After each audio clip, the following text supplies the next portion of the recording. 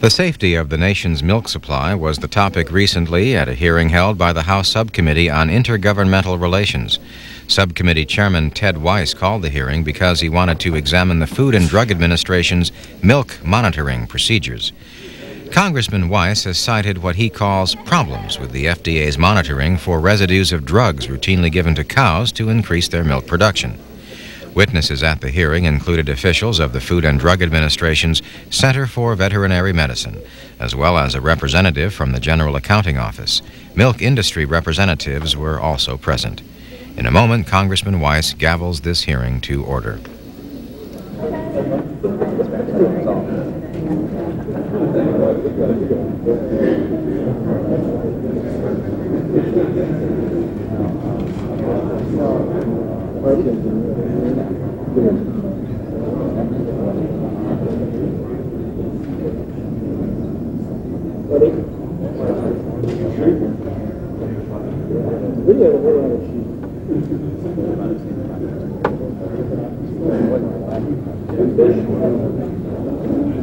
Gruppe, oder?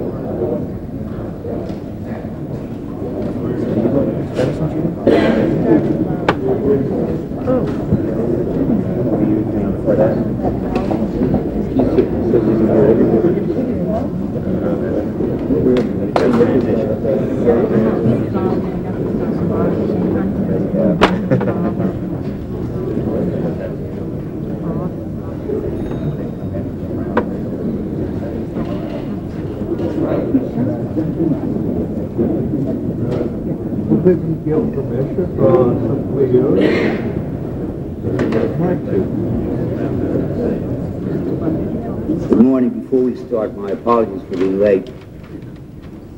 I injured my foot last week, and so I'm moving about a little bit more slowly than usual.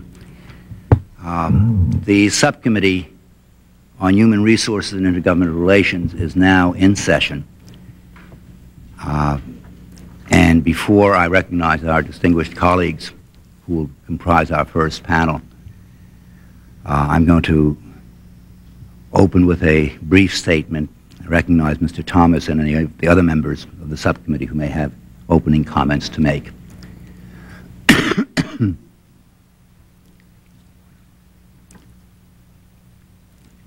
Two and a half years ago, we reviewed the Food and Drug Administration program, which is supposed to protect the public from the residues of animal drugs in our precious milk supply. We found serious problems, some of which FDA acknowledged and promised to address. Sadly, I must report today that little has changed since then. And FDA still cannot honestly assure the public that milk is safe. Today, in the words of Yogi Berra, it's deja vu all over again. Numerous shortcomings in FDA's program remain.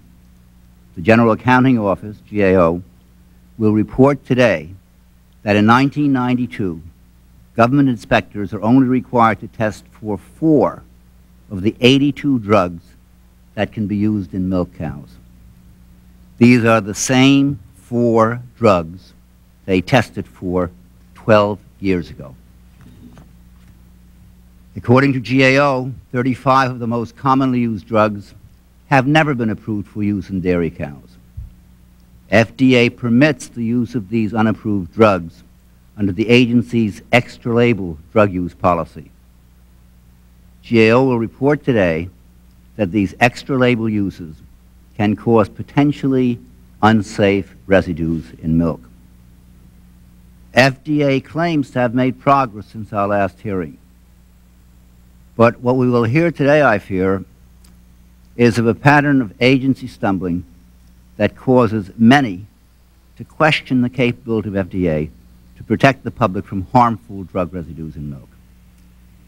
It has gotten so bad that even the milk industry will complain later today about FDA's misplaced priorities and lack of leadership. FDA bears responsibility for our losing faith in its credibility. On February 5, 1990, the day before the subcommittee's last hearing, FDA issued a press release designed to reassure the public that the milk supply was safe.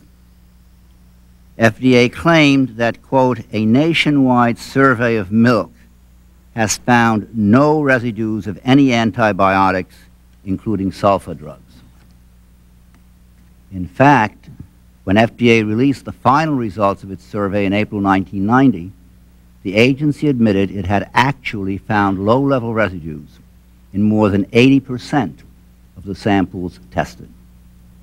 A subsequent GAO report criticized FDA's survey and found it could not demonstrate milk was safe. GAO also found that FDA's monitoring effort is hampered by questionable industry practices. GAO reported that some veterinarians and dairy farmers purposely use drugs that they know evade detection by currently used test methods, or that they know are not normally tested for by milk inspectors. I remain concerned that our national milk monitoring program is broken and badly needs repair. I look forward to hearing from all of our witnesses. Our first panel, as I've indicated, will be four members of Congress who hail from dairy-producing states. I see only three. Oh, three members. On the second panel, we will hear from the experts at GAO. Our third panel will be the FDA officials who oversee the milk monitoring program. The fourth panel consists of individuals representing the milk industry and veterinarians. And now, let me recognize our distinguished ranking minority member, Mr. Chalmers. Thank you, Mr. Chairman. I, I'm happy that uh, this meeting, uh, this hearing has been called. I think these are important issues. I will file my statement for the record so that our our associates can, can go forward. Without objection. Let me just say that uh, the key point, I think, of this hearing is the product, the milk product in our markets is safe. The screening methods do indicate drug, uh, drug residues, although they may not be able to identify the specific ones. That doesn't mean, of course, there aren't things that ought to be done, uh, both with the extra labeling and with the process for, for uh, discovering any problems with milk. So I will file my statement. Let me say, Mr. Chairman, that it does seem to me that if our purpose, as I assume it is, is to examine this issue and find out what the problems are and what to do about them, it would be most helpful if this GAO report were made available, certainly to the witnesses and to anyone else who's interested prior, including myself, prior to the time of the hearing. It would seem to me that we could make arrangements to do that, and indeed should. Thank you, Mr. Chairman. Just to comment on that, it is the practice of this subcommittee, and I think most of the subcommittees of government operations, that GAO reports are released at the time of the hearing itself. Um, Mr. Payne? Thank you, Mr. Chairman. Uh, let me uh, also take this opportunity to recognize you for your leadership in calling this hearing and this very important topic. I'd also like to extend my regards to my colleagues before us, and I look forward to their testimony. I was uh, present at the hearing two and a half years ago, and I see that again we are faced with addressing the issues of control standards established to protect human health and whether adequate constraints exist to accomplish this.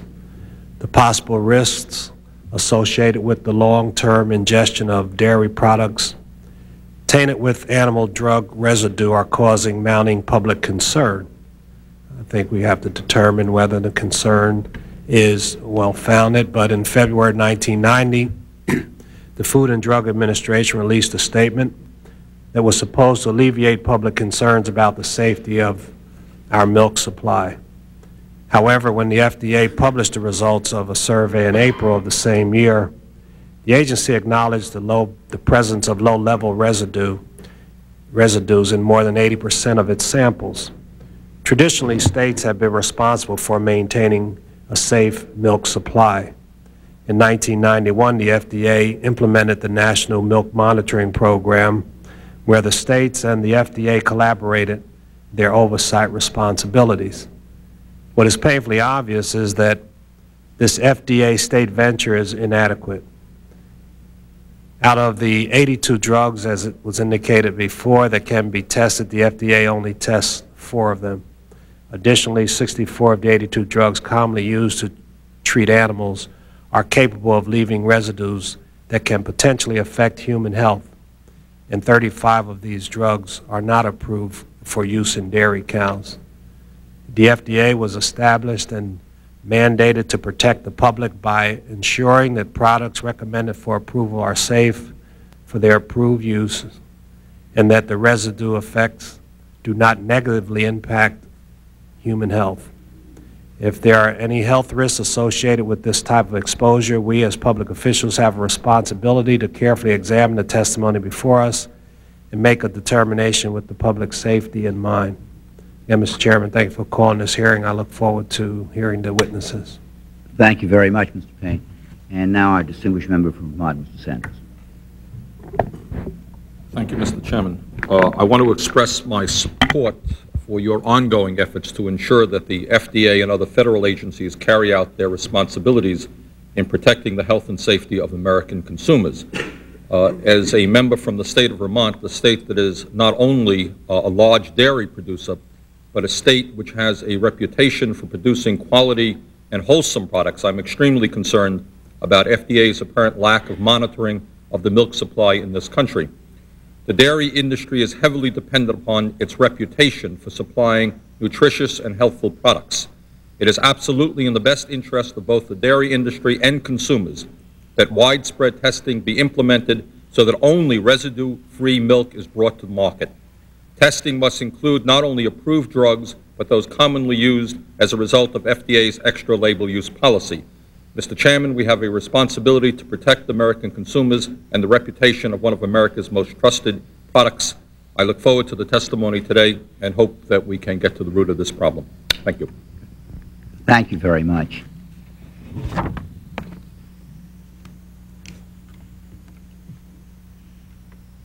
From time to time, during the hearing, we'll be inserting into the record without objection uh, documents relevant to this matter.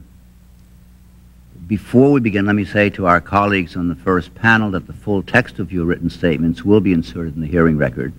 We've asked you to summarize your testimony in five minutes so that there will be time for questions after each panel presentation. Uh,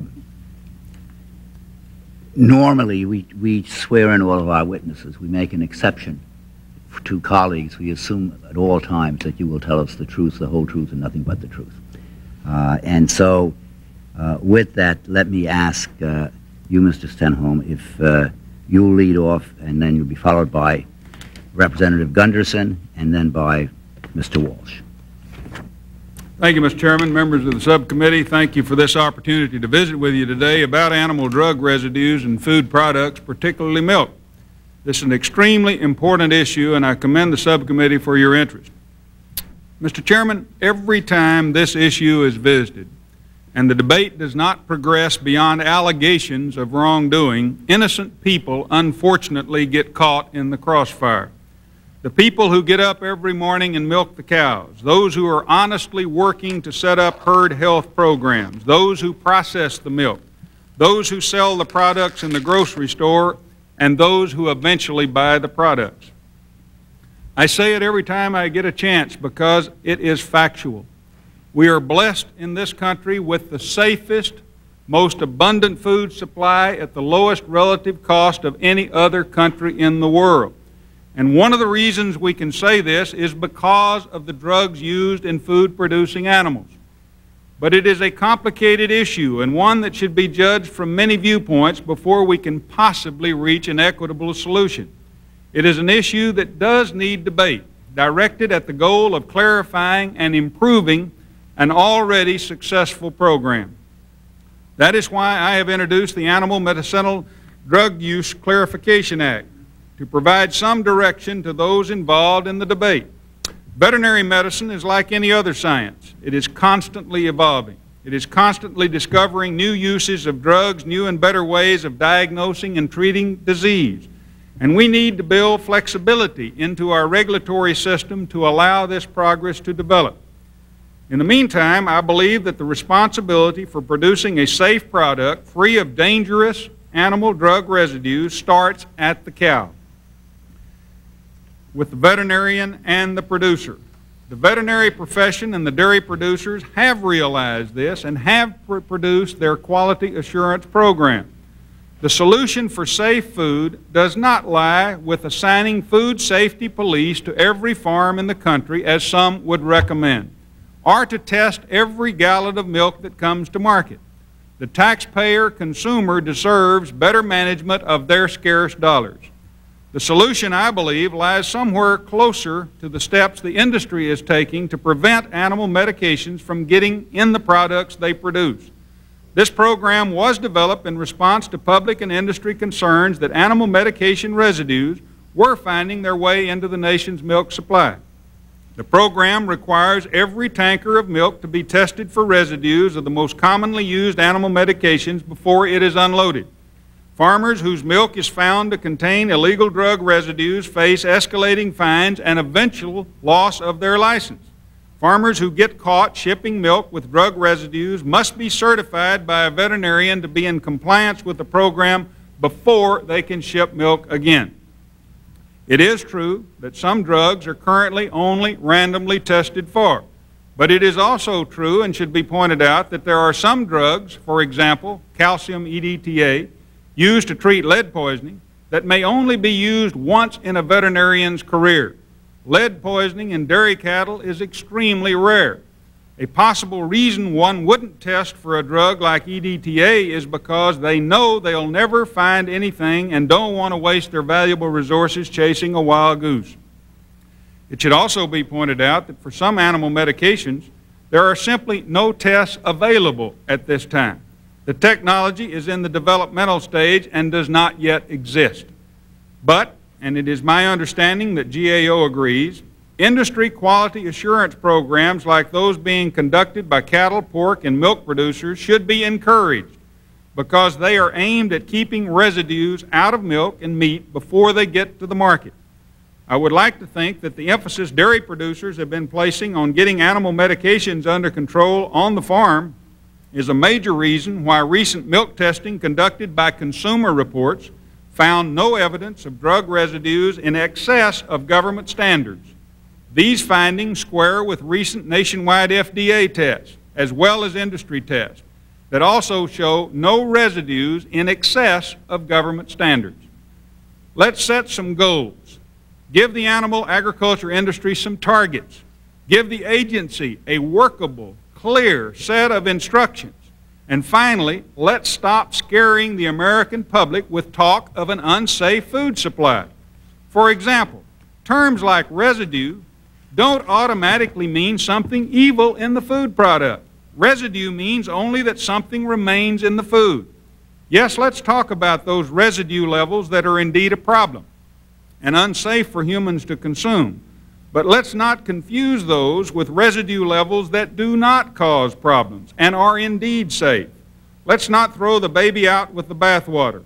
Let's not hinder good medicine with our desire to create a pure food supply. My hope today, Mr. Chairman, is that we can start the discussion of building a better regulatory mechanism that looks at the big picture. From the birth of the heifer calf to the milk she eventually produces to the grocery store product that consumers know to be safe and wholesome. Mr. Chairman, that concludes my, my statement. Thank you very much, uh, Mr. Stenholm. Uh, Mr. Gunderson? Thank you very much. Uh, thank you very much, Mr. Chairman. Uh, I appreciate the opportunity to be here. I come to you as the congressman from the largest dairy producing district in America. I have more dairy cows in my district than I have constituents and I often tell people that they complain a lot less. Uh, so uh, uh, that's why I'm pleased that we went to a one-man, one-vote system. when we go one cow, one vote, look out for Wisconsin. All right. Um, Mr. Chairman, my comments will focus on efforts to address drug residues in milk. The milk monitoring network has been greatly enhanced over the last two years, and I want this subcommittee to know that. As you know, last year the dairy industry voluntarily launched a major initiative to help dairy farmers and veterinarians improve the health of dairy cows, reduce the need for medications, and further ensure the safety and wholesomeness of milk and dairy foods. The Milk and Dairy Beef Quality Assurance Program includes a 10-point set of guidelines to implement a series of on-farm controls to assure the production of quality milk.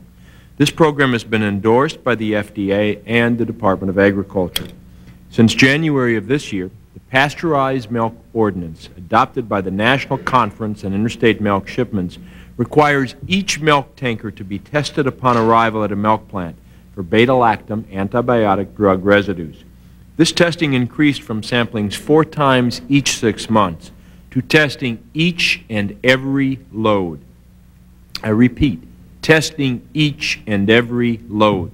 Should a load test positive, the entire load, which can be upwards of 40,000 pounds of milk, must be properly disposed of because it cannot be used for human or animal consumption. Samples taken from each farm on the tanker's route for that load must be tested to identify the producer of the contaminated milk. Once the producer is identified, he or she is prohibited from further shipments of milk until subsequent tests from the farm are negative. Beginning last month, as before, the offending producer's right to market milk is suspended until his or her milk no longer tests positive. But an additional disincentive was added. The offending producer's ability to market grade A milk is automatically suspended for at least two days, and the producer is required to complete the quality assurance program. Also, on July 1st, in conjunction with the new national requirements, my home state of Wisconsin, and I would encourage the subcommittee to look at this, implemented a more stringent law dealing with this matter called the Ag 60 regulations, dairy producers are to be docked the equivalent of two days' worth of milk production for the first violation and four days' worth of milk production for repeat violations occurring within 12 months of that first offense. Two days of milk production on the average Wisconsin 50 herd is worth $3,800. Producers of milk that has tested positive are required to complete the 10-point quality assurance program with their veterinarians within 21 days. If the program is not completed, the producer's grade A permit is downgraded to grade B, milk not eligible for fluid use, and therefore much less valuable. If after 45 days the program has still not been contemplated, completed, the Wisconsin Department of Agriculture, Trade, and Consumer Protection will file a complaint to suspend the producer's license to market milk. Additionally, the receiving plant may recover the cost, get this, of the entire load from the offending producer. A 20,000 pound load of it, let's say the most recent Minnesota-Wisconsin price of $12.46 would be worth $249,200. That's quite a disincentive to a producer to market milk in violation of the standards. Between July 1st and July 22nd of this year, eight loads of milk totaling 230,000 pounds worth more than $2.8 million was dumped in the state of Wisconsin because the milk violated residue standards. Mr. Chairman, Wisconsin is aggressively vigilant in implementing this new program to assure the total safety of its milk to the consumer. In 1991, Wisconsin produced 24 billion pounds of milk. Wisconsin milk producers have and want to maintain a reputation for providing the nation with a reliable, high-quality food. They are very proud of what they do. Implementation of the Ag 60 regulations are a clear indication that Wisconsinites want to retain nationwide consumer confidence in their products. There will be other witnesses here today to present testimony regarding the efficiency of the FDA testing validity, extra-label drug use implications, and processor testing methodology. But I'm here today on behalf of Wisconsin's dairy farm families, and I'm here to plead with this committee to look beyond just FDA to the total testing chain. It would be extremely unfortunate if consumers are somehow led to believe that milk products are tainted. Give this new quality assurance program in its entirety a chance to work. We today have the safest milk supply anywhere at any time, and it's even getting better. Mr. Chairman, I thank you and Mr. Thomas for giving us the chance to make our testimony. Thank you very much, Mr. Gunderson. Uh, Mr. Walsh? Thank you, Mr. Chairman and members of this subcommittee. uh, for holding this hearing and for allowing me the opportunity to testify on this important topic. I represent uh, a district in upstate New York in the central part of the state where we have many, many dairy farms, uh, on average about 60 animals per, uh, milking animals per herd. The necessity of ensuring that our milk is protected from animal residues is essential. However, I am seriously troubled by rising consumer perceptions that question the quality of our nation's milk supply. Critics of current milk safety regulations often rely on emotional arguments that are misleading and needlessly confuse the public. While Congress and the FDA need to closely monitor animal drug residues in milk, it is imperative that we get out the message that our milk supply is the safest in the world and acknowledge the steps that the dairy industry has taken to address consumer concerns about milk safety. Over the last two years, the dairy industry has been deeply involved in improving milk standards through ongoing educational, regulatory, monitoring, and enforcement actions. The Food and Drug Administration began a residue monitoring and surveillance program in 1991 that samples milk from farm bulk tanks, tanker trucks, processor silos, and supermarket shelves. Exhaustive industry research has led to the development of better screening methods of animal drug residues. Furthermore, to prevent residues in milk, the National Conference on Interstate Milk Shipments has implemented revisions to the Pasteurized Milk Ordinance, the body that sets standards and prescribes practices for a variety of milk production activities. Also, beginning in January of this year, new federal regulations went into effect that require the testing of all milk arriving at grade A dairy processors provides stiff, uniform penalties for farmers determined to have violative residues, and, and provides for unannounced on-site inspections of farms and processing plants. Of even greater long-term benefit in improving milk safety is the creation of the Milk and Dairy uh, Beef Quality Assurance Program, a program designed to educate milk producers. It was developed by the National Milk Producers Federation and the American Veterinary Medical Association, along with input from government regulators and other dairy and animal husbandry experts. This 10-point program promotes herd health and reduces the need for medication by stressing disease prevention, proper drug use, and on-farm residue testing. Does the enactment of these new guidelines mean that everything is perfect within, with current FDA milk monitoring practices? Of course not. More education of milk producers on animal drug residues is needed, and more stringent enforcement by FDA will be required. However, FDA, the dairy industry, and the veterinary groups have been acting responsibly to address legitimate concerns, consumer concerns about milk safety and have enacted meaningful reforms that will help ensure that milk and animal, animals destined for human food do not contain violative residues. I hope and trust that this subcommittee will recognize the good faith efforts by the FDA and the dairy industry to enhance our milk monitoring network and will not demagogue this issue by trying to create doubt about the safety of our milk supply. Lastly, I strongly reject the implication that dairy farmers and veterinarians are purposely evading screening methods of the FDA. Again, I appreciate the opportunity to testify before you, and I especially thank my colleague Craig Thomas for his assistance on this issue. I'll be happy to answer any questions you may have. Thank you very much, Mr. Walsh. I want to thank each of you for taking time from what I know is a very hectic schedule, particularly at this time of the legislative year, to participate in these important hearings.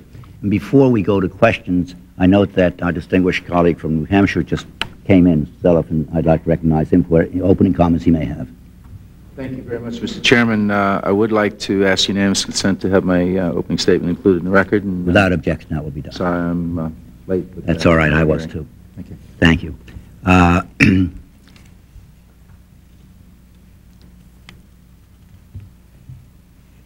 Mr. Stenholm, according to a May 26, 1992 FDA memorandum, Dr. Gerald Guest, Director, FDA Center for Veterinary Medicine, was asked his views on the Senate version of your legislation. The memorandum states, and I quote, that he does not think that FDA should actively support this bill, that this particular bill falls short of achieving a solution to the problem, and that industry has said that it can't support the present bill, close quote. The subcommittee has found no record of FDA communicating those views directly to you. Are you aware of FDA's assessment of the legislation? Not at this time, Mr. Chairman, no, sir. Okay. On May 8, 1992, the Animal Health Institute, uh, incidentally, we're going to be operating under the five-minute rule uh, for questions. On May 8, 1992, the Animal Health Institute, which represents the animal drug companies, wrote to the American Veterinary Medical Association to say that it would not support the extra label drug use legislation that group had asked you to introduce. The Animal Health Institute described the legislation as, quote, narrow and, quote, counterproductive. What is the basis, if you know, for their opposition to your bill? I'm sorry, I didn't hear your question, Mr. Chairman. Uh, would you know what the basis for the uh, opposition of the animal drug companies, the Animal Health Institute, uh, to your legislation? They've said they've written to the American Veterinary Medical Association, who asked you to introduce legislation to begin with, uh, indicating that they would not support your bill.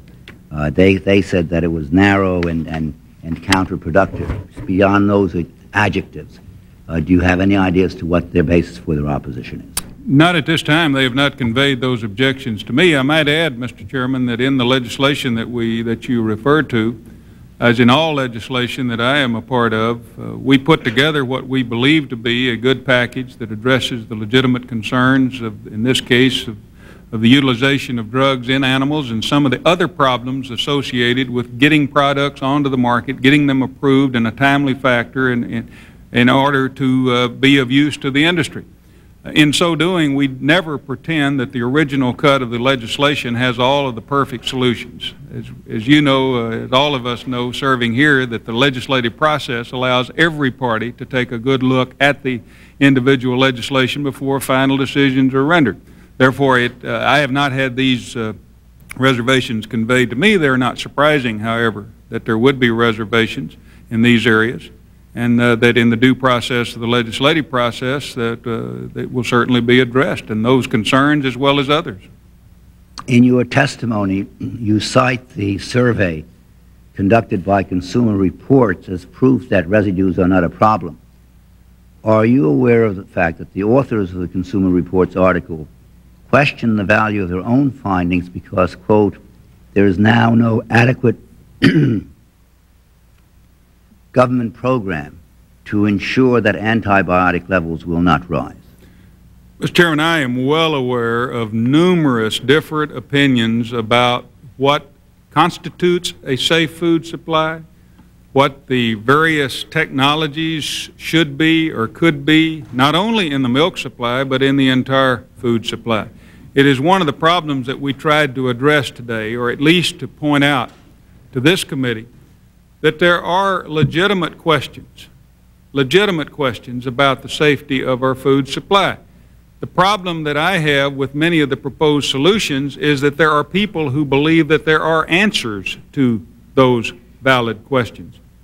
For example, we know that technology today is able to measure parts in the trillion, the quadrillion. I'm not sure how big the number is. It's even bigger than the federal deficit, and that's a bunch. And when we start trying to have technology to measure that, I believe, based on my limited scientific knowledge, but also based on the opinion of those whose judgment I do respect, believe that if we are bound and determined to have a standard imposed by the federal government that ensures there is nothing in our food supply, we're going to starve. My basic simplistic question or, or analysis of this based on my knowledge, God himself did not create a perfectly safe food supply. And if that is true, how in the world can we expect the government to come up with a standard that we will apply our food supply to that can improve on perfect?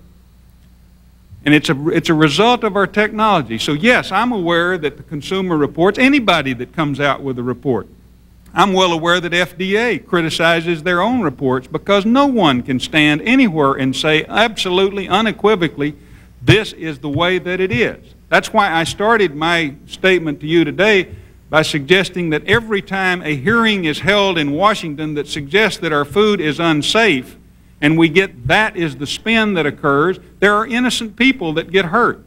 Innocent people, as Mr. Gunderson pointed out in Wisconsin, Mr. Walsh in New York, Texas, California, you name it, all 50 of our states, in which allegations are made that cannot be substantiated. And what, what in my subcommittee, where we deal in another area on food safety and the inspection service, I have been very frustrated because of our desire to turn our food safety inspection system to a more scientific direction, we have been completely stonewalled. Completely stonewalled in, in our attempts to do so. So, yes, the answer to your question on the consumer reports, yes, I'm well aware of that. It's not surprising. It shouldn't be surprising to anyone. Okay, now, without getting into a theological discussion with you, uh, and I don't think that neither you or I want to uh, hold God responsible for the chemicals that are inappropriately uh, fed to cows or injected into cows, milk-producing cows. Uh, it seems to me that uh, it's one thing to have natural problems. It's another to have problems that are man-made and created. And that, that's really, and, and then improperly monitored so that we don't know what, what in fact is there.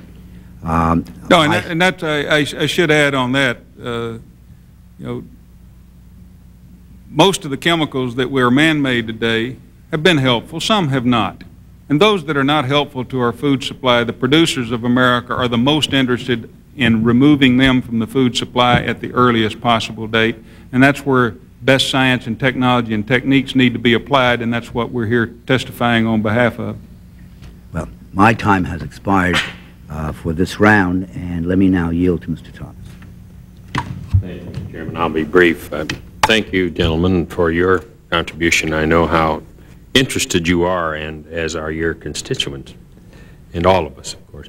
What, um, Mr. Gunderson, do you, are there a satisfactory number of tests? Uh, is the product exposed to a testing process that is uh, reasonable, do you think? And uh, if so, uh, are the tests dependable in your view? Well, I would point out that one of the things we all need to be careful about when we are testing for drugs is that you can isolate any drug test to look for components of a particular drug. I mean, each one of us could go to a medical doctor today and we could come back and say, well, we'd been tested for drugs and we got a clean bill of health. Well, that depends on what the test particularly looked for. And so I think we have to be very careful. There is not in existence today a broad-based test that's going to determine uh, all potential drugs in any of us or in any food product uh, per se.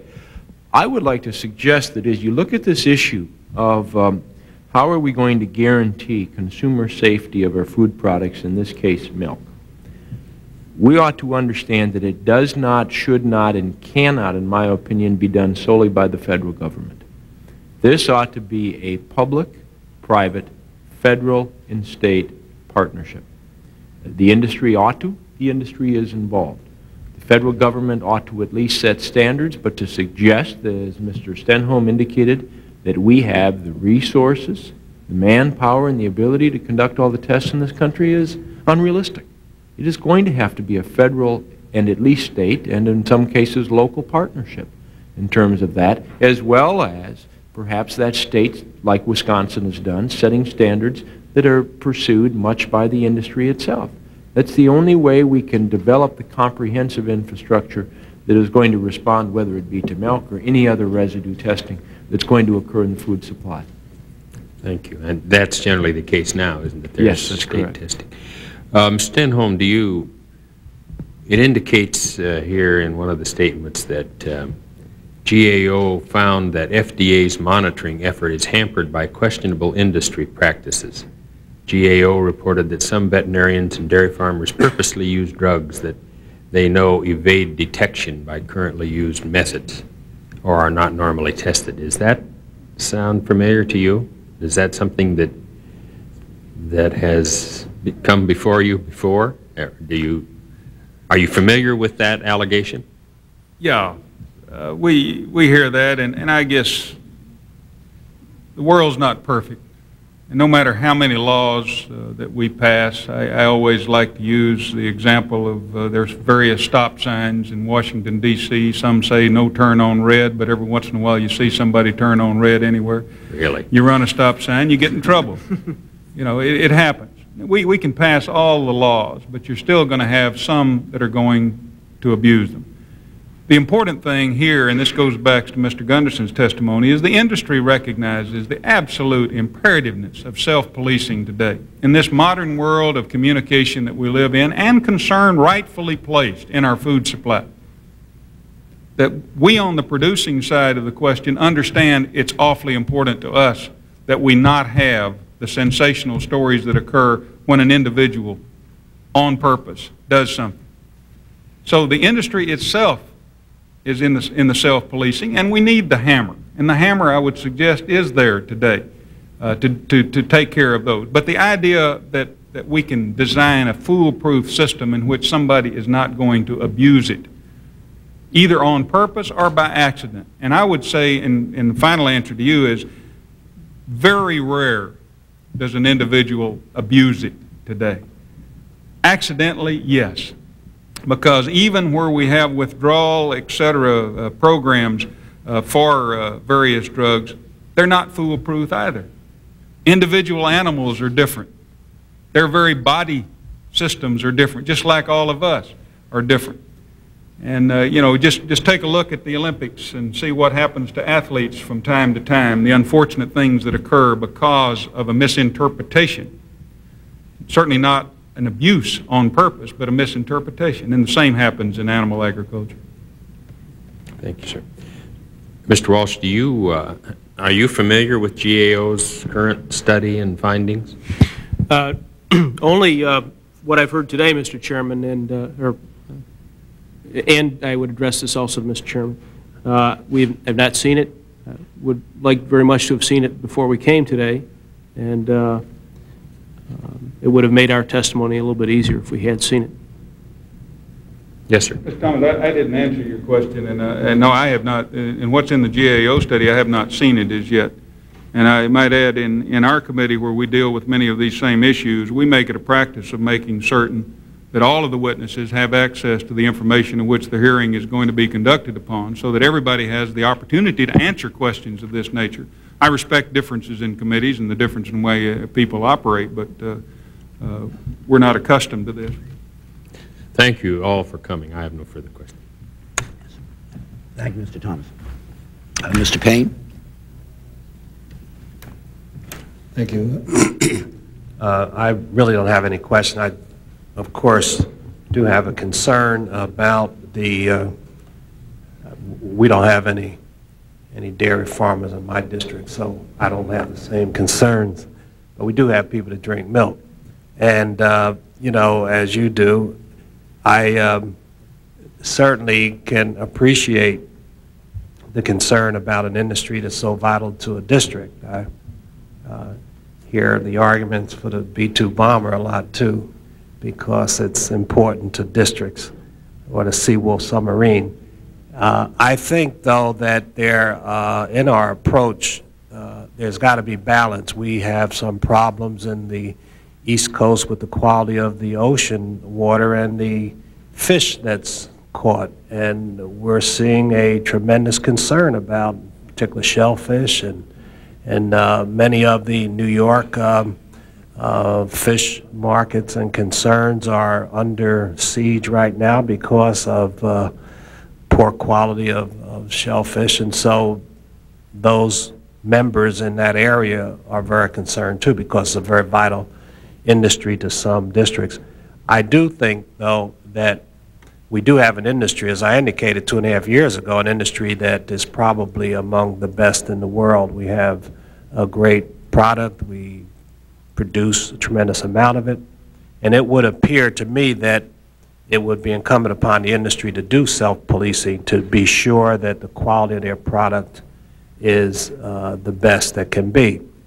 Unfortunately, though, what we've seen, especially during the 80s, we've seen a new breed of business people in all kind of industries where it seemed like it was the decade of the greed, you know, and a lot of things were short-circuited and circumvented for profit. Uh, That's why we've got the S and L situation at BCCI. We've got more problems because the profit motive seemed to have driven uh, the concerns of all kinds of industries and businesses and products and developers uh, on a wrong track. And unfortunately, uh, government, I guess, sometimes simply has to, to be around to kind of monitor. I would be very pleased if I thought that the industry uh, could simply police itself, that if they found there were several hundred thousand dollars worth of questionable milk, that it was simply poured down the drain. That would be an ideal situation in society.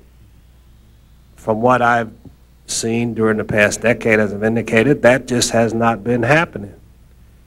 Almost just the reverse. If it's a close call, opt to err. And so I um, don't want people to be alarmed either, but I think that there has to be some kind of uh, closure to this question of whether this this residue and the number of drugs tested and uh, these reports are true or not for the for the benefit of, of, of the business in your areas. And so I, uh, I too look forward to uh, the testimony from the other witnesses, the FDA folks, and people from the industry to try to get an idea of where we're going because it is very, very critical to, to this country and to our uh, uh, and to the reputation of this fine industry. So I, I had no question, just wanted to make that, that statement. Thank you, Mr. Payne. Sanders? Chairman, um, let me briefly comment to my friend, Mr. Payne, that some of us think we can defend milk a lot more easily than we can B-2 bombers. Product is much better for children also, I should say. I, I Um. Let me uh, mention to, to ask Mr. Gunderson or anyone else who might like to comment on it. Uh, I, I agree with you, Mr. Gunderson, that ultimately there must be a federal, state, local, and private partnership. I, I don't think anyone thinks the federal government can do it all. And also coming from a dairy state, we're very proud of the farmers in our state who are up against the wall, fighting hard to produce a really important product, and the overwhelming majority of farmers are honest, hardworking people who are producing a product that this country and the world needs. But let me ask you, in terms of the partnership that you envisage, what is the proper role of the FDA within that context? And in your judgment, is the FDA doing enough right now? What should they be doing that they're not doing? I think the FDA role ought to be twofold, Mr. Sanders. Uh, First of all, uh, the FDA ought to be uh, setting uh, the uh, basic guidelines for states and the industry to use, and the FDA ought to be uh, developing the research protocols that uh, would be made available to the states and/or industry to use to detect certain residues uh, per se. So I, I think I think it's twofold there. Uh, the federal role is a unique role, and it's also very different. But uh, evidenced by the discussion that has just occurred, my guess is that milk from Vermont or New York goes into New Jersey. So to suggest that this is automatically going to be a New Jersey problem doesn't make any sense at all. To suggest that the federal government has the resources to inspect every load of milk shipped in this country is to say you don't understand the magnitude of this industry. So that's not going to happen either. We don't have the resources. The federal role, therefore, then is going to have to be, we will develop those basic guidelines that, like we in Wisconsin who use with our Ag 60, or that the New York uh, or Vermont uh, Departments of Agriculture use in their testing, that the industry can use as, as a part of their industry police, and then also that as we get into these additional chemicals that we are now looking about, that we question whether they are or not safe, FDA more than anybody has to be the research arm that determines the protocols that can detect that and det determines the risk factor to human consumption. That has to be a federal obligation. Sure. Just to add on to that last point that uh, Mr. Gunderson made, I think that's something that we've grappled with on the Agriculture Committee, the De- Department Operations Subcommittee. What is a, what is an allowable residue? What is an allowable tolerance? The Delaney laws says zero residue, zero tolerance. Uh, I don't know if that's realistic anymore. uh, somewhere between uh, zero and, uh, and uh, whatever the other point is, um, is where we should be. And I think the FDA has to work with the, the legislating committees to determine what is uh, a, a, an allowable level and what is the um, risk-benefit analysis of, uh, of, of whatever that level is. I, I don't believe that we can find any uh, uh, commodity today that doesn't have some residue of some chemical in it. And uh, we should always be striving to reduce that residue level in whatever the commodity is, but we're not going to get a zero tolerance level today. Let me ask you, Mr. Walsh and Mr. Stenholm, are you comfortable and satisfied with the role that the FDA is now playing within this uh, area? Uh, relatively uh, comfortable. I think that uh, if there are uh, chemicals that aren't being tested for that are determined to be uh, um, dangerous or disease-causing to humans that aren't being tested for, I don't know that to be a fact. But if, if if that were to be the case, then obviously additional tests would be, have, have to be performed. But they're taking the resources that Congress gives them and applying it to a problem, or a problem as they perceive it, and, and applying those uh, resources as best they can. If, if we feel no, more testing needs to be done, perhaps we ought to provide them with more resources. Mr. Stenholm? You know, Mr. Sanders, you know, qualify say every, anything can be improved on.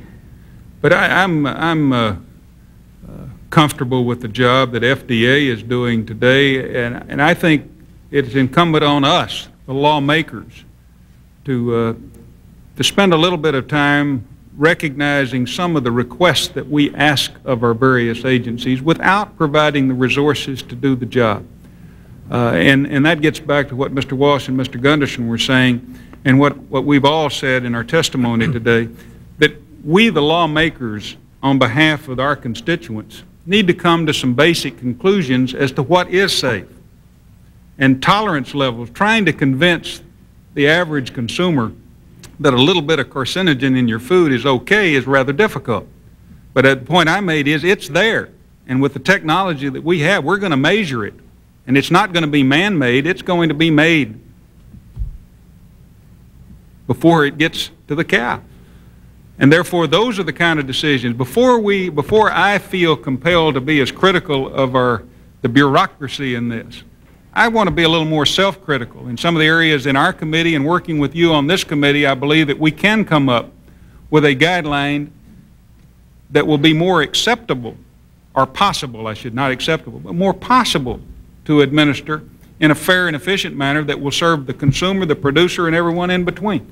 So I'm reluctant to be critical, because I realize some of the things that we in this body, in our best wisdom and judgment, have not been as productive in allowing them to do their job as we could have been. Thank you very much. Mr. Chairman. Um, I would say that, that uh, milk producers certainly have a major benefit uh, to ensure that their product is, is uh, safe and of the highest quality. And uh, my son is a vet and uh, is involved. And uh, I might just have each of you just tell us from the, the, prospect of each of your involvement with your states um, relative to self-policing programs that have been recently introduced. is there a marked degree of, of improvement? Um, and, and, can you describe that? In other words, in terms of testing results, in terms of uh, are we on the right track by going through the self-policing, and can you describe the, the difference uh, in, in terms of results at this point in, in each of your states? Mr. Uh, uh, you came in late, and, and, let me just try to uh, briefly uh, indicate what I had said in my testimony in Wisconsin. In addition, in addition to the federal uh, efforts, in addition to the industry self-policing, we in Wisconsin, the state of Wisconsin, have adopted new regulations known as Ag 60, which require literally that every load of milk is going to be tested, that farmers uh, are uh, automatically penalized if If that load is contaminated, they can go to the fact of requiring that farmer to pay the entire cost of a load of milk, 20,000 pound load of milk. You can go to that one farmer because the whole load will be dumped. You can assess him a cost of 249,000 at the present MW price. Beyond that, as I indicated, in the month of July in the state of Wisconsin, under these regulations, eight loads of milk totaling 230,000 pounds with a value of $2.8 million was dumped because they found one residue in each of those loads. I don't know what more any industry in the world can do to guarantee and show to the consumers of this country its commitment to a pure, safe product and is being done under that level of testing and standards. So the program is working as far as you're concerned? It, it is working, and it's the concern I think we have that the news that comes out of this is going to be that somehow milk is unsafe, when the reality is that when you look at the protocols at the federal, state, public, and private partnership, you can't have a safer product with today's technology than we are today delivering in the state of Wisconsin. Myself, I would say ditto to what Mr. Gunderson has said, and, and in response to the comment that, uh, Mr. Payne, that you, uh, you observed, uh, I did not suggest that we do not need a policeman. Uh, Self-policing by itself is inadequate, and the industry agrees to that. What the point we're making is the industry is making a good faith attempt that is successful. It's successful in Texas, in Wisconsin, in New York, because every producer understands what the penalties are they're very severe for rightful reasons. It's in, it's in the producer's best interest that we clean up the problems we have in our industry if we have them. We're not finding many, but we're finding some. When you're talking of less than one half of 1%, that's not much. And the idea that you can achieve perfection, I don't believe is possible but as close to it as we can with the proper federal, state, local, and producer efforts, in our judgment, will give us the best result that will allow your consumers in New Jersey to feel as uh, safe as they should today that the milk they're drinking is safe. Mr. Zeliff, if I could just comment uh, using a, a, Dairy Industry Food Safety Steering Committee report. Uh, during 1991, 2.2 million tests uh, were done uh, on milk being delivered to processing plants by, by the producer. Uh, less than one half of 1% of that milk was uh, uh, tested positive. In 1991, same, uh, excuse me, that was 1991. In 1990, the year before, similar test, there was about 33% more so there was a 33% reduction uh, in um, positive tests over the, over the one-year period. So I would say that's substantial progress. If, if there is a, a bad producer in your individual states and, and under, what, under the, the uh, uh, idea of self-policing and within your individual states, how do you go about getting that particular producer on track? If there's if there's a bad actor that's bringing the industry down and, and providing and, and causing problems for the industry. Um, well, in, in, in Wisconsin, I mean, first of all, not only is the total load, but each shipment from each farmer is tested. Right. So, so you can identify the producer per se. What we do is, is we will, do, until that farmer has met the new uh, compliance standards, we will prevent him from shipping any further milk. Okay. We will go beyond that to say that uh, we will penalize his income for up to four days. We will go beyond that to demote him from grade A to grade B. And we'll go beyond that to hold him liable for the entire load he's contaminated. I mean, if, if I'll be so again, with you, if those four things haven't put that farmer out of business, the system should be working then. nothing's going to. Thank you. That's true nationwide. Thank, you, Mr. Zeliff. Uh, I think the bells sounded for a vote on the rule. Um, so I'm just going to sort of sum up with you. First, Mr. Gunderson, I want you to know that your statement as to what you think the uh, federal government's role ought to be vis-a-vis -vis the states and localities, I couldn't uh, agree with more. I think that, that that's absolutely right, and that's, that's really been the burden of our uh, argument. The problem is that uh, the FDA has not been moving expeditiously on providing standards for the, for the states and for the localities. And so you know, the, the states are, are left and the industry is left more or less to, uh, to fend for itself. And uh, Charlie, the, the perfection that, that you don't claim but you're proud of, uh, the, closest to which they come, that's swell for the four products, the four, four residues that are tested for, the beta-lactams. But there are 78 others out there that are not being tested for. And that's the same situation that's prevailed for the last 12 years, and you ought to be more concerned about that than me. I, I don't have any, any farmers in my district uh, either, unless there are some in Brooklyn that I haven't uh, noticed under the new redistricting. Uh, so, you know, it just seems to me that, that there really has to be a question of reordering the priorities of the, of the FDA to make sure that they do the job that the American public expects them to do. And all of our cheerleading for how safe our milk products are is not going to help us very much if all of a sudden one of those unknown 78 residues create a terrible problem. And then for the first time we'll start yelling and screaming and saying, why wasn't the FDA on top of the job? Now's the time to scream about it to make sure that the terrible part does not happen.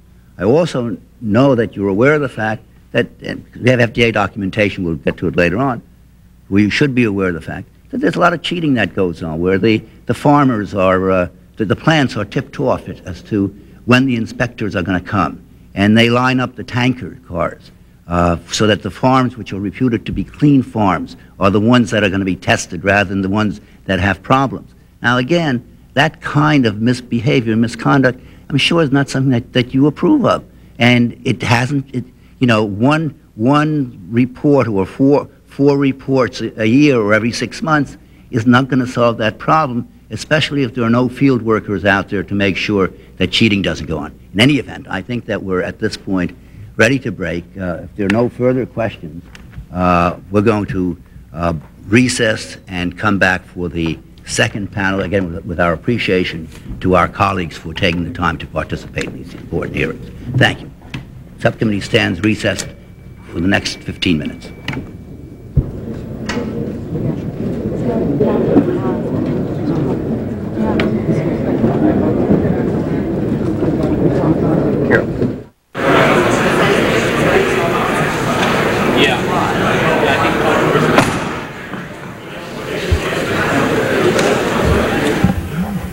The Subcommittee on Human Resources and Intergovernmental Relations is now back in session. And before you gentlemen from GAO sit down, if you stand behind your nameplates, raise your right hands. Do you swear or affirm the testimony you're about to give will be the truth, the whole truth, and nothing but the truth? Let the record indicate that each of the witnesses has responded in the affirmative.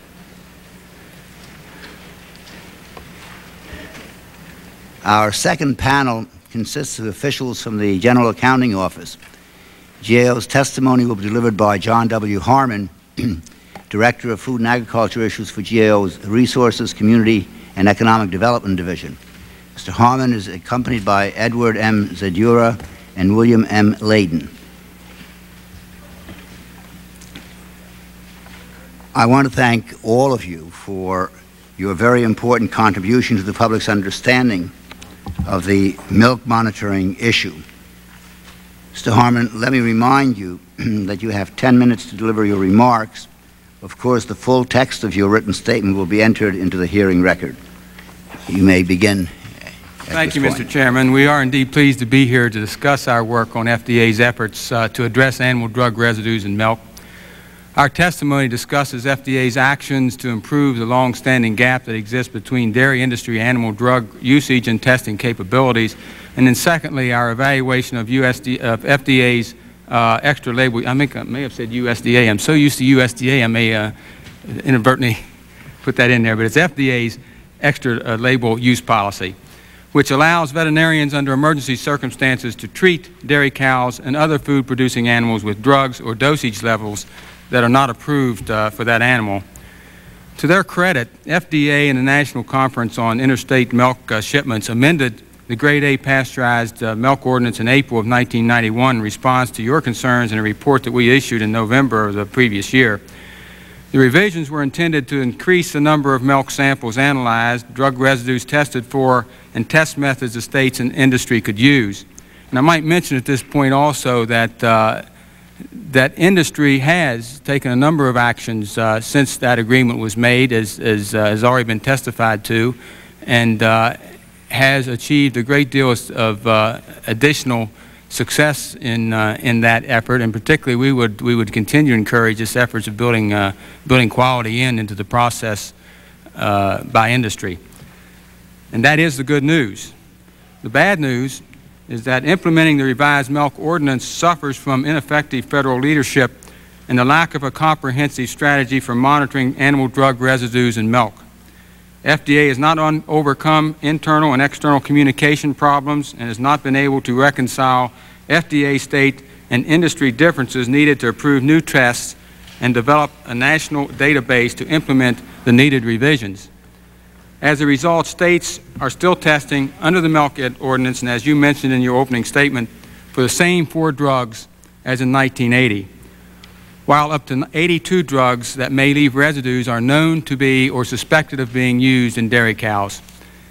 FDA data indicate that 64 of these 82 drugs are commonly used or may leave residues that raise health concerns. 35 of the 64 drugs have not been approved for use in dairy cows and 12 are not approved for use in any animal producing, any uh, food producing animal. FDA has not approved any new screening tests for additional drugs, although states and industry have repeatedly called for such tests. Additional rapid screening test methods were to be developed by July of this year. New methods will not be available until 1993 at the earliest, and after that, training state and industry officials will need to be done. Development of a national database to collect state and industry testing data is also behind schedule. Program revisions require that uh, industry begin retaining and reporting residue data to the states in January of 1992. And the states require, were required to begin auditing these data in July of 1992. The startup of the National uh, Residue Database has been delayed in part because of resource constraints. In the meantime, FDA has launched another survey to test for 12 animal drug residues in milk. However, because of statistical and testing limitations, FDA surveys, survey, like its previous surveys, cannot be used to draw conclusions about the presence of, the presence of residues, residues in milk. Further, FDA has uh, expanded this program to test the same four drugs that uh, states are already testing for, and the annual cost of this uh, program is now at about uh, half a million dollars. Regarding FDA's extra label use policy, we found that although FDA intended the policy uh, would be used only in emergency circumstances, such use is in fact routine. FDA cannot enforce its extra label use policy effectively because it does not routinely monitor veterinarians' use of the policy and cannot detect residues of most drugs used in an extra label manner on dairy cows.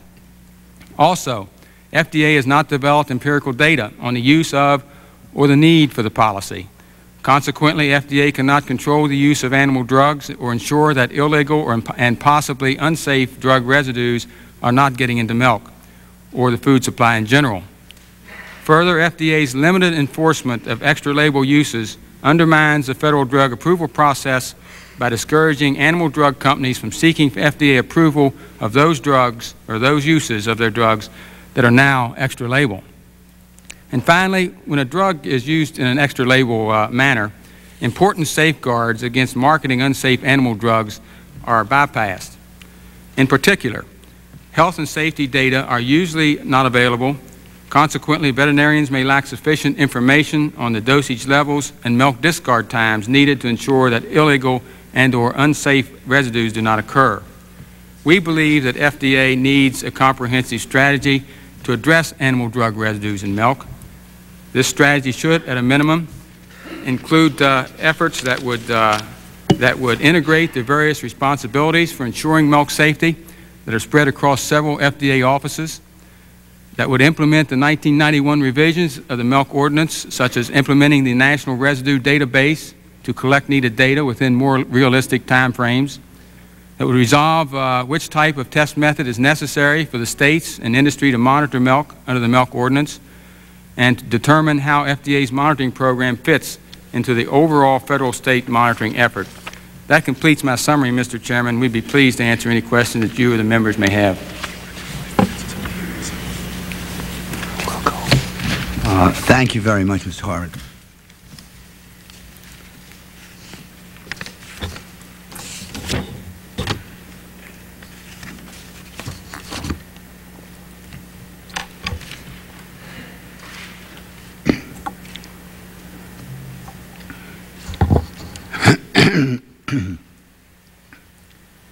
Mr. Harmon, what health risks should consumers be concerned about from animal drug residues in the milk supply? Well, there are basically three risks that uh, are involved uh, with drug residues, three basic risks. One is, uh, has to do with allergic reactions by those people who are maybe sensitive uh, to drugs that are contained in milk. Uh, the second one has to do with uh, bacteria becoming resistant to the drugs because of continuous exposure to, to the drugs and uh, as a result uh, exposing people to infections. And then finally a slight increase in the risk of uh, long-term health effects such as, uh, such as cancer. Those are three basic uh, uh, health risks that consumers may be faced with. You indicated that the states are only required to test for four of the 82 drugs that can leave residues in milk. The test they use is known as the BS disc assay. What are the limitations of this test? Well, the basic limitation of the disc assay test is that it only is only really effective on uh, four four drugs, uh, and uh, there are five other drugs that uh, can be used on, and, and it's possible, but it's not uh, it's not as effective. And also, uh, there are many other drugs that of the 82 that we identified that it can perhaps identify the possibility of drugs in milk with those, but it can't uh, identify to what extent. And, and if I can add an example, the example would be sulfamethazine, a suspected carcinogen. The disc assay can detect sulfamethazine at about 15 parts per million, which is about 1,500 times higher than the safe level that FDA set at, at 10 parts per billion.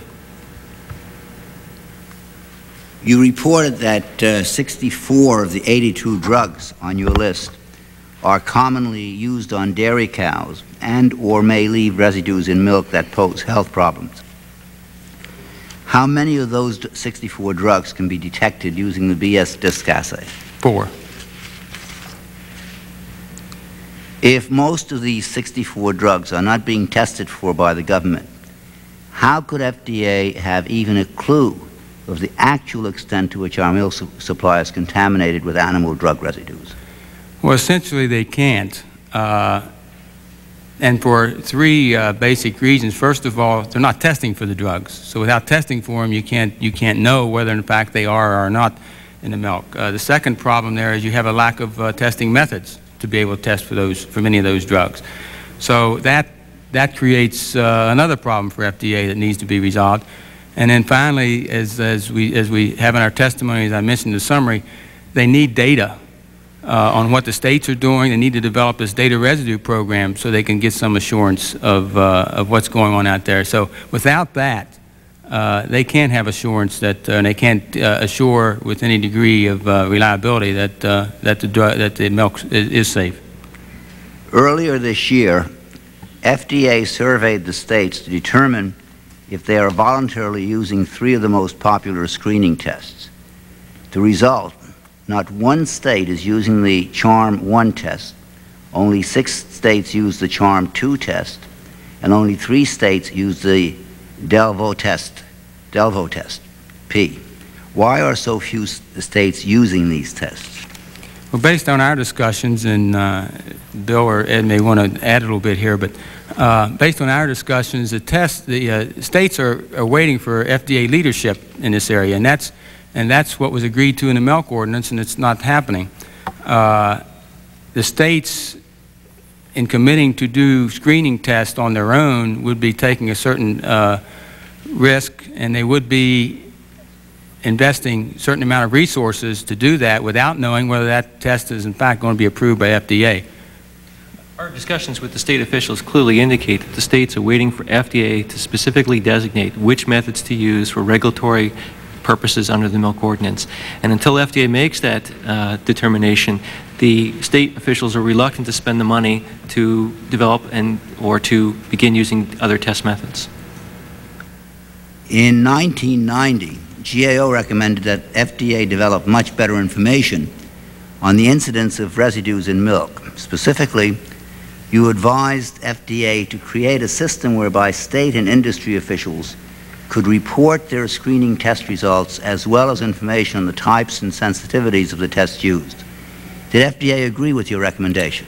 Yes, they did, and uh, they did begin efforts to develop uh, the National Drug Residue uh, Database. Uh, also, the uh, efforts uh, in making revisions to the milk ordinance came out of, of their agreement with those, those recommendations. Essentially, they have not set up the databases yet. they had plans to, to do it. It wasn't funded. It wasn't one of their highest priorities.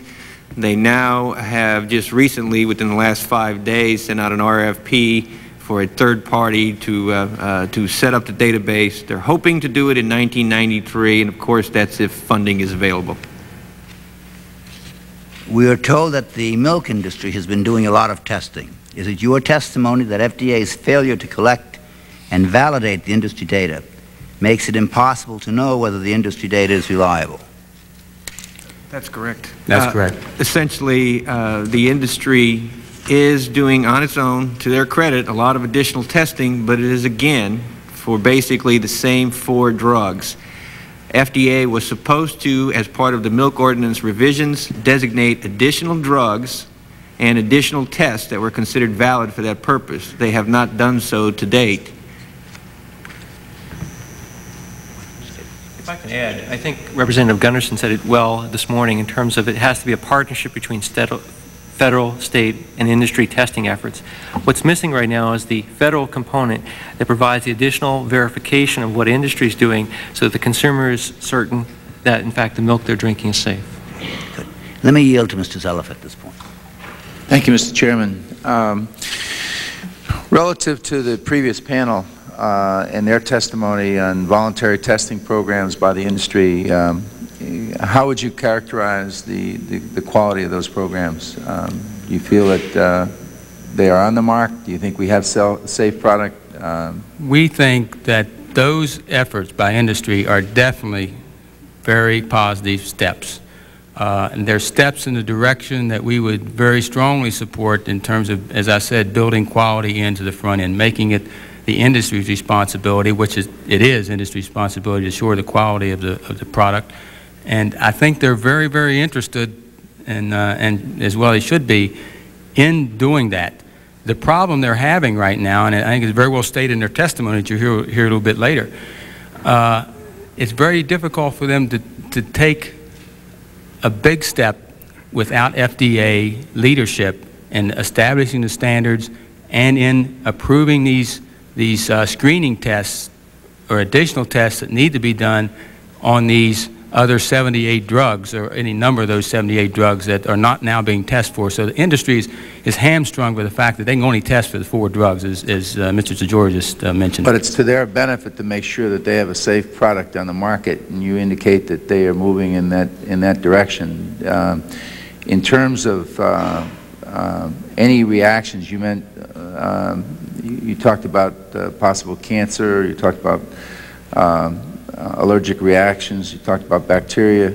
Any, uh, can you describe the, the level of complaints that we're getting and any, is there any way that we can tie that into uh, any there's, uh, there's just no data. There's just no data as far as I'm aware of that uh, of, of, that. I mean, these are these are possible health effects from residues in milk. Potential that, that could happen, that's right, but we don't could, know of any happen. cases where it did happen. We don't even know to what extent these drugs are existing in milk. To at least some extent, at a, uh, uh, a meeting a few months back, a, uh, a speaker, uh, an FDA speaker, did cite uh, evidence of research showing, for example, the growth uh, in the number of uh, microbials that are resistant to antibiotic treatment. Essentially, it, it, means that they have been subject to low levels, or may mean they've been subject to low levels of antibiotics in either feed or by injection.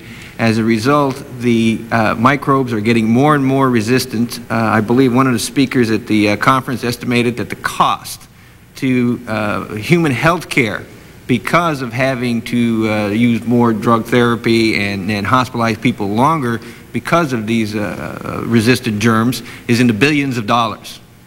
when you get into that, I I mean, I, I- don't think I could probably uh, summarize what you just said very easily. Um, What kind of people, what, what kind of staffers, what kind of, uh, uh, what's the background of people that are, that are, that are on the GAO that are, that are doing this, the, the testing that, that you're referring to? No, we did not do that. FDA researchers did that. I'm just telling you that at a conference, the FDA researchers presented a paper saying that the, the, the uh, increase in the number of germs that are now resistant to antibiotics may be costing us, in, in terms of human health care, billions of dollars a year. And to add to that, there, in the report, um, some background information about the research literature, medical literature, which indicate a distinct relationship between antibiotic use on dairy farms and in human infections as a result of consumption of, of products emanating from the dairy farms. And you can attribute it, that directly to milk?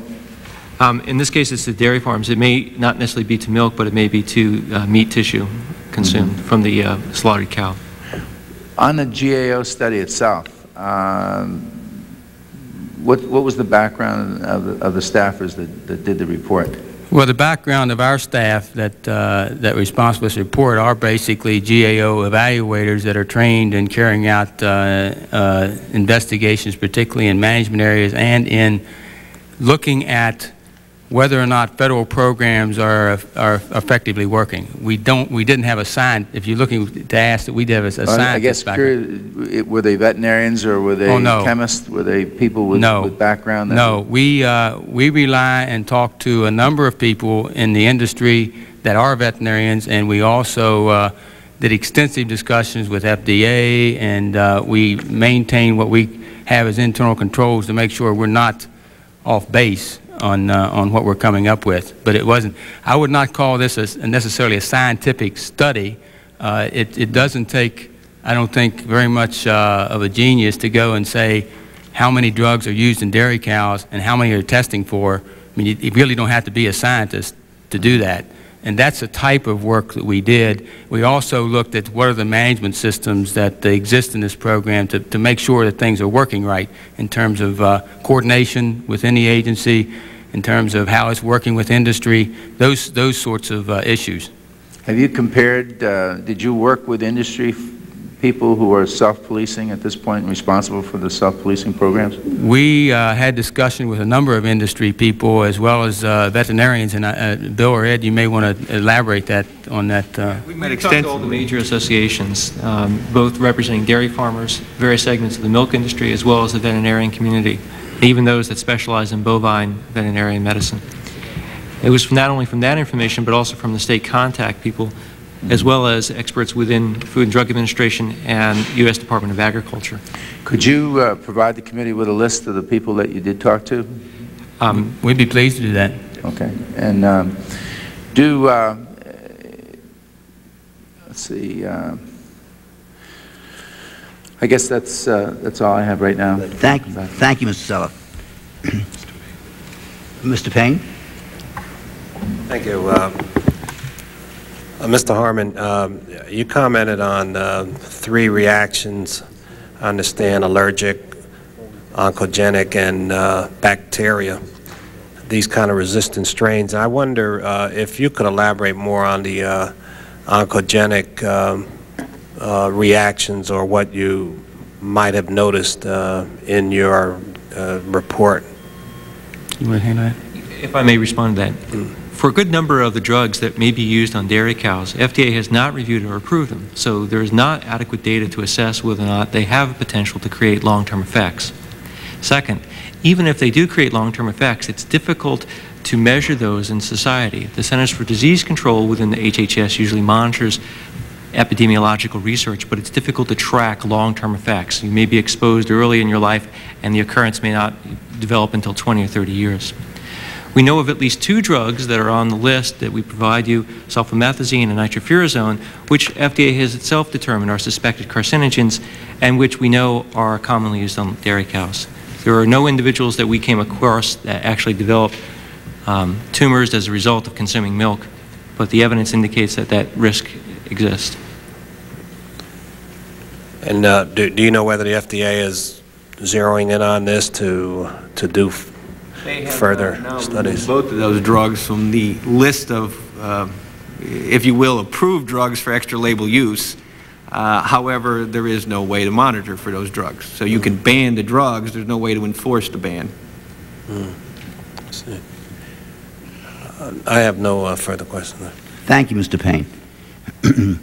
In your 1990 report, you also recommended, as the GAO did, that FDA evaluate screening tests for sulfa, tetracycline, and other drugs so that more tests could be added to the milk ordinance.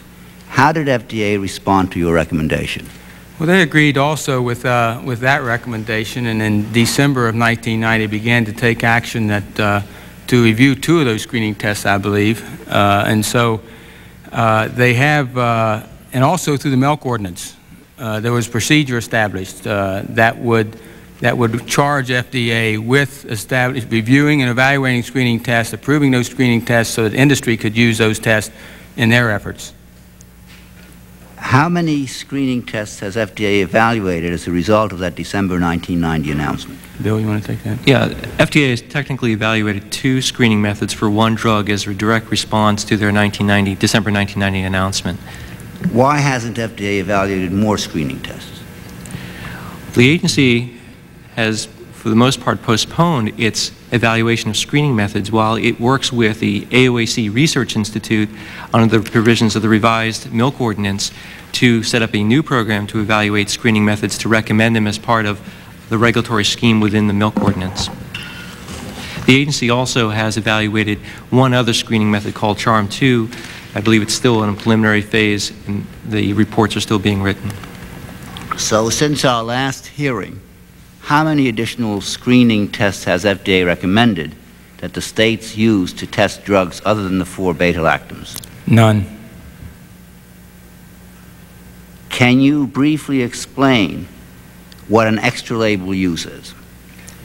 The briefly part may be difficult. Uh, uh, under extra label use and under the uh, uh, Food, Federal Food, Drug, Drug and Cosmetic Act, only those drugs which have been approved by FDA and uh, for labeling and for use on uh, animals can be used, and it has to be used according to that uh, instructions on the label. Uh, what's happened is they've also uh, have a policy which allows veterinarians to uh, to use drugs if that animal is in some sort of trouble, extra label. That is, in situations where the drug has not been approved or tested for that use in that specific animal. Now, what are the potential risks to consumers from the practice of extra label use? Well, if a drug is used in an unapproved manner, the Food and Drug Administration, which is responsible for approving new animal drugs, has not had the opportunity to review data submitted by the drug manufacturer to determine whether or not the drug is safe for both the animal as well as to people who will consume the food products derived from the animal, and whether or not the, the product itself will work as it's intended to work. So consumers could be exposed to a drug for which the safety hasn't been determined, and perhaps equally important to what we've been discussing so far this morning, this afternoon, is there is no method to detect, because usually when someone comes in and wants a new animal drug approval, they must not only submit the data to demonstrate the product is safe, but also a method by which the Food and Drug Administration or the states could test for residues. And in this case, if a drug is used in an extra label manner, the safety data isn't there and may not have a test method, and so the residues may escape detection. FDA intended that extra label use only occur rarely. Has that in fact been the case? No, we found it to be uh, fairly routine, as a matter of fact. Now, what is FDA doing to minimize this practice? Well, at this point, very little. Uh, first of all, as we've mentioned many times, the uh, testing uh, methodology just doesn't exist. They're not monitoring uh, veterinarians' compliance with the, uh, with the policy. So uh, they're not in a position to really know to what extent, or, and they haven't developed data on the extent of the use or whether it's indeed, indeed required use. So FDA's efforts here have been minimal. In your investigation, you conducted extensive interviews with state milk inspectors and all segments of the milk industry. You reported that the states and almost all industry groups are frustrated by FDA's lack of leadership and failure to confront milk monitoring problems head on. What is the state's greatest frustration? Well, the states are interested in carrying out their responsibilities to, uh, to assure uh, a safe milk supply. And without these screening tests, and, uh, which are reasonable and uh, cost effective for them, they can't carry out their job. I think that's their greatest frustration. And they're, they're very interested in doing that. You heard from uh, Congressman Gunderson. I think uh, the work that the efforts have been done in Wisconsin are very commendable. And it indicates the extent to which states, particularly those dairy producing states, are interested in making sure the supply of milk is, uh, is safe. And uh, they're, uh, they're just not able to do that until some of these uh, screening tests and some of these efforts can be done to identify residues of drugs that, uh, that are not now able to, they're not now able to identify. The states, I gather, need quick, cheap, reliable screening tests, and FDA has failed to provide them. Instead, FDA continues to develop laboratory methods that are complicated, expensive, and not practical for more, most states to use. Is that correct? That's correct. You reported that certain segments of the milk industry are particularly concerned about the extra label drug use policy. Could you elaborate on that? Well, the extra label drug use policy uh, to the extent that it allows drugs to enter into their product that uh, cannot be tested or cannot be controlled is a, is a threat to them. And as long as that situation exists, it, uh, it allows, uh, it opens up the possibility of consumer concern. And as long as you've got that possibility, there's always the, uh, the situation you referred to right before uh, uh, you adjourned for, for the vote, and that is it only takes one time, like the Alar incident, and uh, they're in they're in deep trouble uh, economically, and how, we don't know how long it'll take to recover from that. GAO reported to this subcommittee in November 1990 that FDA's efforts could not demonstrate that milk was safe. Given all the problems that you have described in FDA's milk monitoring program since then, can we place any faith in any assurances we receive from FDA that the milk supply is safe?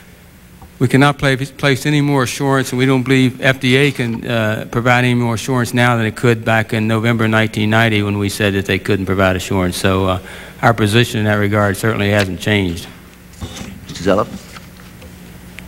Thank you, Mr. Chairman. Um, do, uh, since records have been kept and tests have, been, uh, have improved, uh, has the amount of tainted milk found at processing plants increased or decreased? It's, are you referring to the new revisions to the milk ordinance? That's correct. It's our understanding that since January 1992, when industry was required to screen each tanker for beta-lactams, the amount of milk that was dumped increased, especially in the first few months. FDA, though, has not collected any of that data, which is the need for the databases we mentioned earlier. But that's synonymous with, uh, with, with, with industry self-policing taking the extra step making sure for their own best interest that any milk that's tainted gets dumped. How about before, the, before January? But again, that, that tests were mostly limited to beta-lactams, and we were mostly talking about just the four drugs. So okay. there's still a whole spectrum of drugs that were untested. For. What you, I mean, in reality, Zeliff, if we were able to test for many of these other drugs, the likelihood is that the amount of rejections would go up. There's all kinds of incidents from warning labels, uh, from warning letters from FDA to uh, uh, other testing that's been done to some of the sophisticated laboratory methods that only can be done sort of one at a time on one sample that indicates there are other uses out there. There is uh, likely sulfas being used, sulfa drugs. There's likely tetracyclines being used. Uh, uh, uh, dairies and veterinarians have been cited in warning letters for using those on dairy cows if we had rapid screening tests, the likelihood is we would find more drugs. Now, I will say that the, the efforts of Wisconsin uh, that, uh, that Congressman Gunderson cited, which presents some very uh, strong economic incentives for people to not use these drugs, probably once that got going and you had tests for these drugs, you'd see better, you'd see, if you did see an increase, you would start to see probably a decline because of that, uh, that uh, penalties that are required. But that's Wisconsin. That's not uh, FDA. Okay. Uh, do all do all drugs leave a residue after use? No. No. Okay. And But, but let me clarify that, because drugs can be used in many different ways. So it not, it doesn't, doesn't, it just doesn't depend on the drug per se, but how it's used. So for a drug that FDA has approved, if it's approved and used according to labeled in- instructions, it may not leave a residue. But if it's not used according to label instructions, it may leave a residue. And there are several drugs on our list that have that potential. do all drugs with residues, uh, are they, are all drugs uh, that leave residue uh, unsafe? Uh, Probably a question of degree. Uh, Antibiotics are in effect designed, it- it's, it's probably a question of degree. In reality, antibiotics, just like pesticides, are designed to kill some offensive thing, in this case, a germ. Uh, uh, They could, at high enough levels, cause problems, whether it's toxicity problems, long-term cancer risk, allergic reactions, uh, they essentially could. As Bill said, properly used, uh, with proper withdrawal times and dosages, uh, those approved drugs should be leaving low levels of residues that FDA has determined would not be a health concern. Um, I get the feeling, though, that, that uh, you feel that we're on the right track with what industry is doing, and particularly with the testimony that we heard before. uh, Absolutely. In self-policing and compliance. Industry's biggest need, I think as John said, is for FDA uh, and uh, working with AOAR, uh, AOAC uh, Research Institute here to approve some additional rapid, reliable, inexpensive screening tests so they can screen out products that we don't want in our milk. Given that, they will, all indications are, react by implementing those screening tests. They have on their own, in some cases, used screening tests. The problem is uh, those tests themselves have not been determined to be valid and to really detect the proper drugs at the proper levels. And, and I just want to make sure that I understood right your comments before. There are no known, even though the potential exists, there are no known cases that, that you can uh, certify at this point in terms of cancer, in terms of uh, uh, allergic reactions, in terms of bacteria uh, becoming re resistant to drugs. I mean, the three cases that you outline, you have no known cases that affected the consumer. So I have to assume that from the best best information available that, that the milk that's on the on the market right now uh, in the shelves um, in, in the product that we buy is relatively safe. Is that true? I think the, uh, the issue here is uh, really, as the chairman pointed out, the extent to which the consumer believes it's safe. And these kind of issues that are raised uh, erode that, that uh, confidence. And the extent to which they do erode that confidence, I think it represents a threat, certainly to the industry, and that's why industry is so concerned. Uh, I don't think we can say that the milk is unsafe, but the same token, we can't say that it's safe because we don't, we don't have the data, we don't have the information, and uh, neither does FDA, but there's a, there's a lot of effort out there by the industry, probably more so in milk than any other food product, to test and to try to, try to make sure that it is safe. Well, they, And, uh, have, they certainly have a lot to gain by that. and they have a history of doing that uh, through uh, pasteurization, of, of course, and that process that evolved uh, back when uh, that threat existed. So there's no doubt in our mind that, that this industry has the uh, wherewithal and has the incentive to take action if they get the proper federal leadership. Last question, Mr. Chairman, uh, if I can. As you did your course of study, um, did you detail how the drugs were being used, whether the vets or the producers were following certain withdrawal uh, periods, uh, the appropriate withdrawal periods, um, or did you just simply take an inventory of what you found? Uh, how thorough did you go about that Let study? me let uh, Mr. DeJour address that. We uh, did extensive research, number one, through a lot of groups to come up with a list of drugs that we thought were being used, and, and we essentially cleared that with FDA and state people and dairy people. Um, in effect, there is evidence to indicate that uh, two things are happening. Number one, there is illegal use, clearly illegal use, not by veterinarians, by producers. Uh, FDA has sent out warning letters uh, when they have found residues.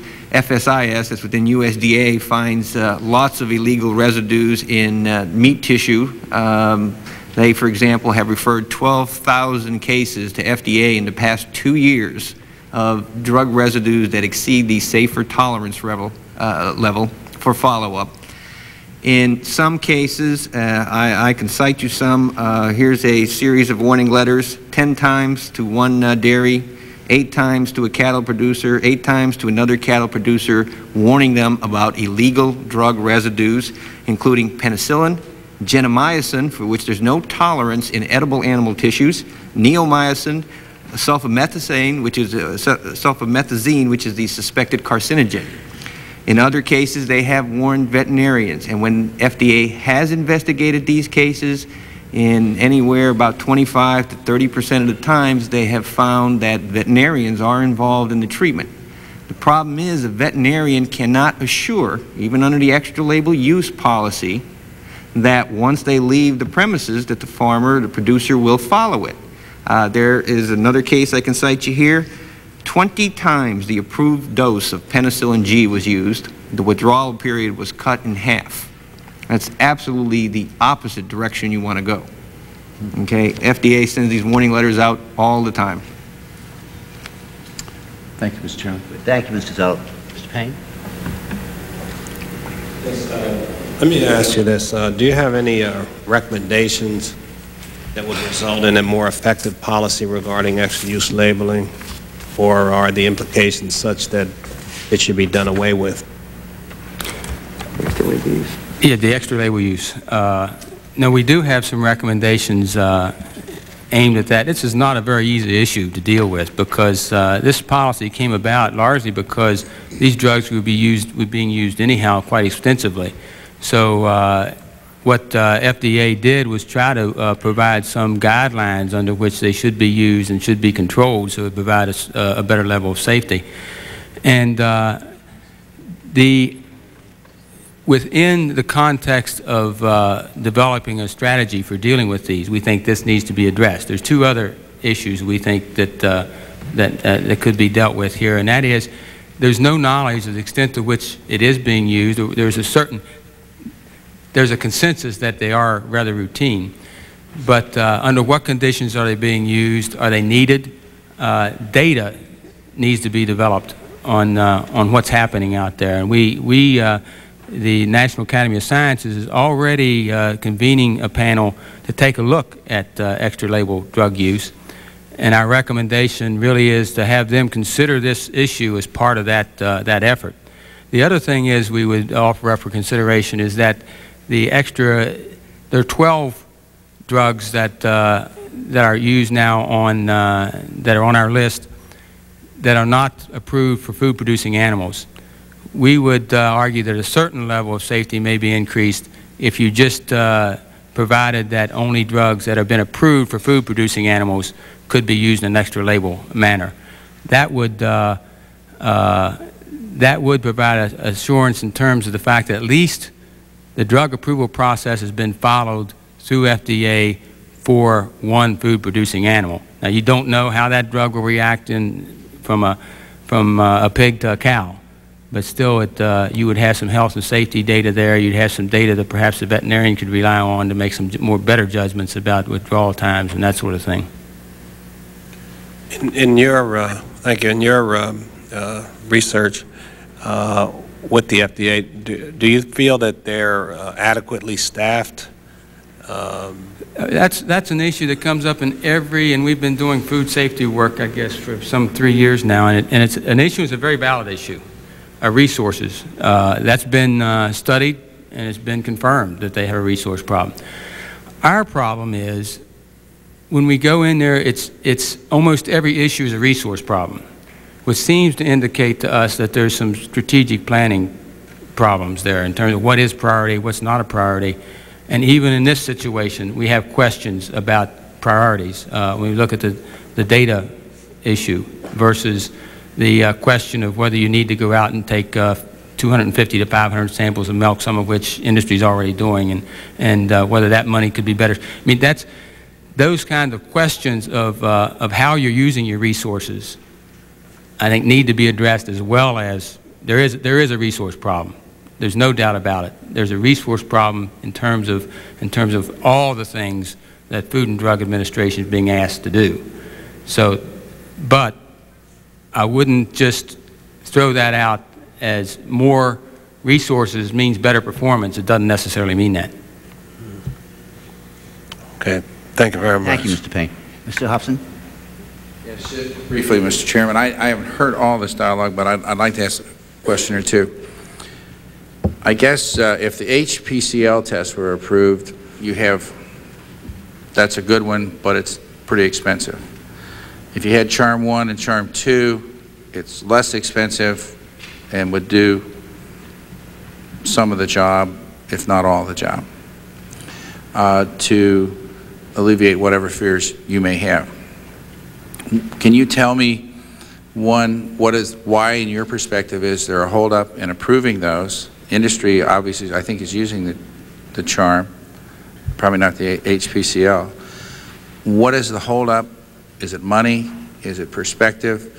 Um, and what would you recommend to get on with it? Our view is, uh, I mean, based on what we, uh, we've seen, it's not money. Okay. Uh, It could become a problem, but it's not money. Uh, There's a basic disagreement here.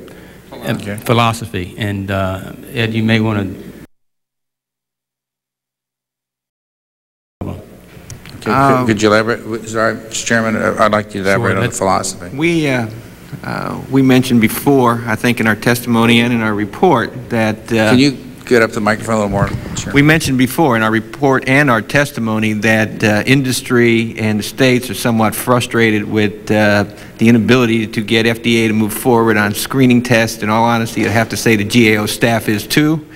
Uh, Two years ago, we recommended uh, very strongly that they take actions to approve uh, additional screening tests. Uh, They concurred. They started out, essentially, they did uh, uh, the research on on two tests, but only for one drug, and did some other work on Charm 2, for example. As part of the PMO, again, they came out with a program that said we will work with the AOAC Research Institute to approve screening methods. A year has gone by now. They've uh, written a memorandum of understanding but still haven't signed it. It'll be several more months after that before AOAC, AOAC can begin the, uh, uh, their study. And then, even when a test is approved, the FDA will have to go out and train and certify the, uh, uh, the state people on how to use it, who in turn will have to do the industry people. That means it's going to be four or five years since we told them, and others have told them this many times too, before we get any additional screening tests uh, available to the states. And that's, and that's if they're used. There's still a philosophical disagreement here between On what, regulatory tests. on what the regulatory agency, FDA, believes is necessary to pursue an enforcement action or a potential enforcement action, to have a regulatory method to identify and quantify a particular drug, as opposed to what the states and industry may be willing to accept um, under the milk ordinance to reject a load of milk because it tests positive with a screening test for which you may be unable to identify using the screening method the specific identity or the specific amount of drug that's present. Essentially, I- I don't- FDA, FDA is insisting on developing single residue regulatory methods primarily, which have to be done in the lab with expensive equipment. They take a long time. You can't use them next to the tanker in front of the processing plant. Uh, Their argument Is is that they because they're need those- afraid they'll, they'll come before this committee and we'll tell them their test is not perfect? Or, or, no, no, seriously, because they have a, they're worried about being criticized.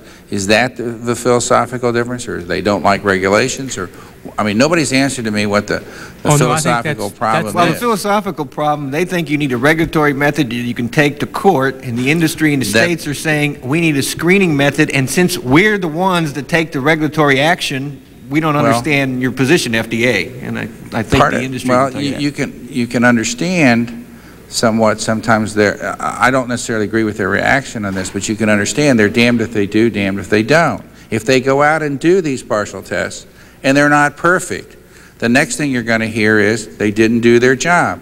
If they go out and do it to the nth degree, then they're going, then they can't be criticized. And, and you know, then your, your next report will be, with all due respect, you didn't do your job because you didn't do it perfect. And someplace along the line, we have to get some understanding between people who do your job, rightfully so, and the people on the other side and understand the parameters they're operating within. Because I think they're so hyper about being perfect that we lose sight of the real world. And I think you're right, the tanker test is one that that probably should, should be there.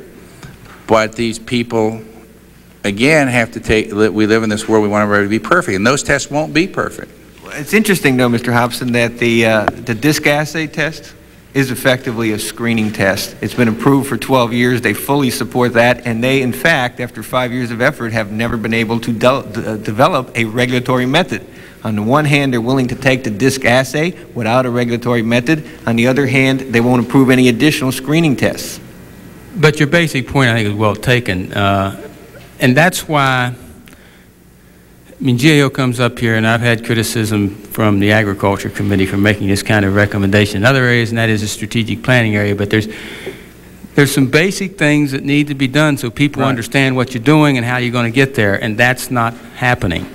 And if that happened, we could understand, this committee could understand, the people involved could understand, and if something goes wrong, if you have a screening test and somebody challenges that test in court, then you've got to you've got to back up. But but right now, the customer here, which is the states and industry, are saying we need Get on this, with it. and And they're I- not getting it. And I agree with that, and I think we do need to get on with it, and I think uh, most people in the industry will agree that we, if it's a simple, cost-effective test that they can easily administer, they're for it.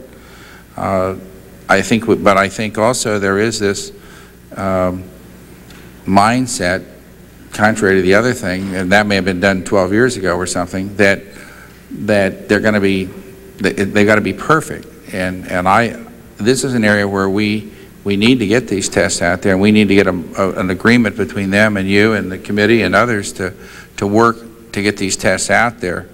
Uh, The states, and, you know, usually it's the state saying, don't, don't do this to me.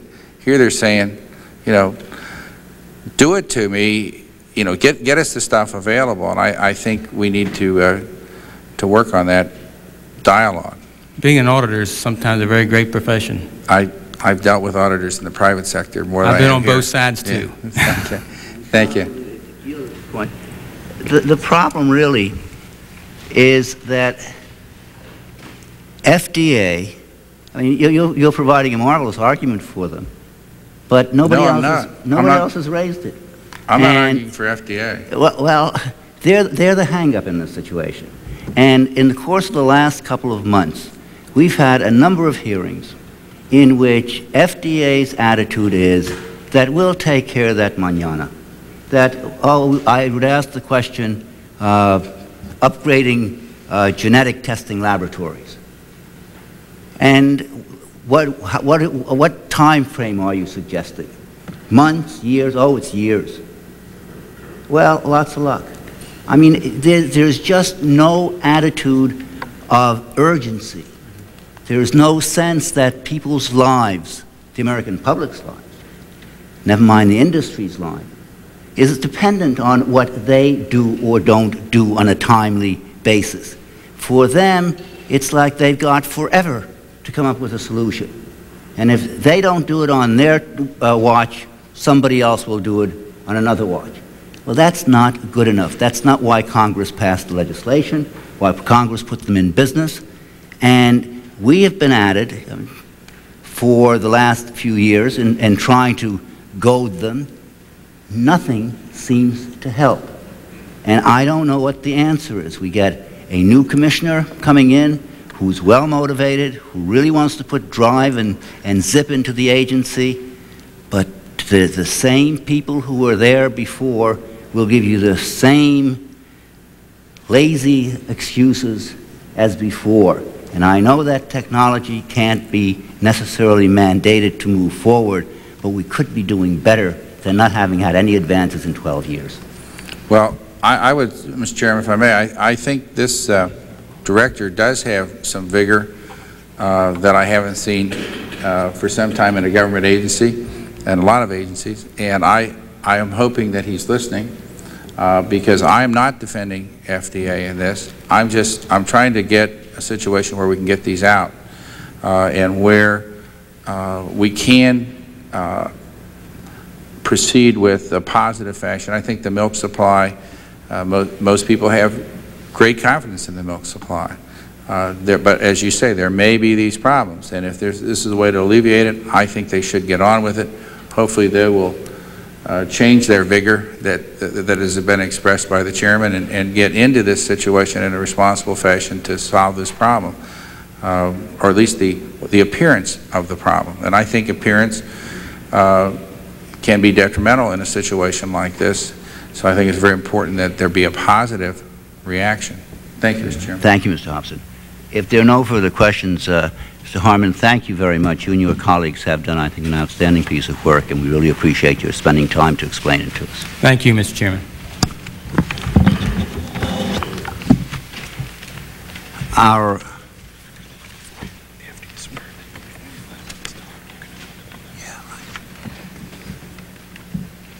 Our next panel is from the U.S. Food and Drug Administration. FDA's testimony will be delivered by Dr. Gerald B. Guest, Director of FDA Center for Veterinary Medicine. Dr. Guest is accompanied by a number of other FDA officials. As I explained earlier, it is the custom of our committee to swear in all witnesses. So, would you all please raise your right hands?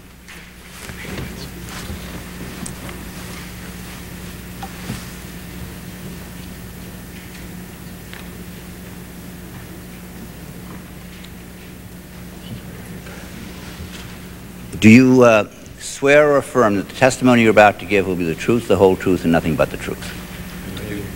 Thank you. Let the record indicate that each of the witnesses has responded in the affirmative. And Dr. Guest, I want to thank you for being with us today. Please take your seats. What?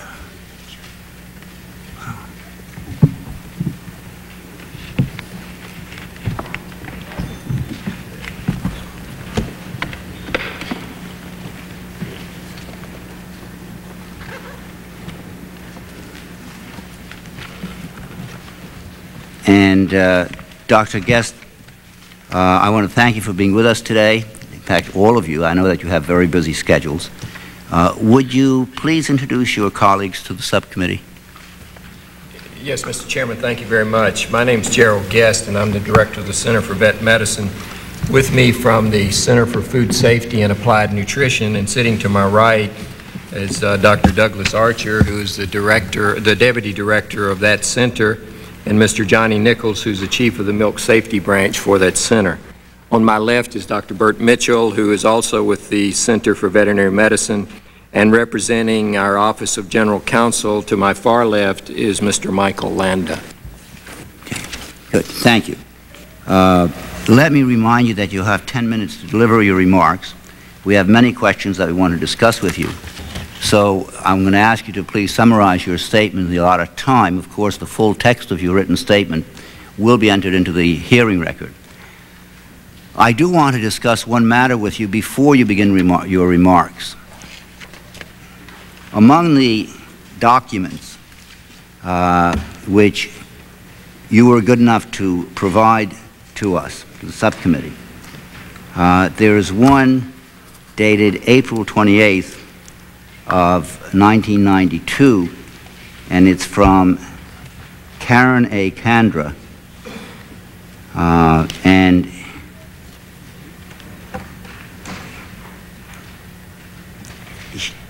pardon? Give me a copy, okay. I'm going to read you just a couple of lines of it. It's a very brief memo to start with. Uh, uh, she sends this to uh,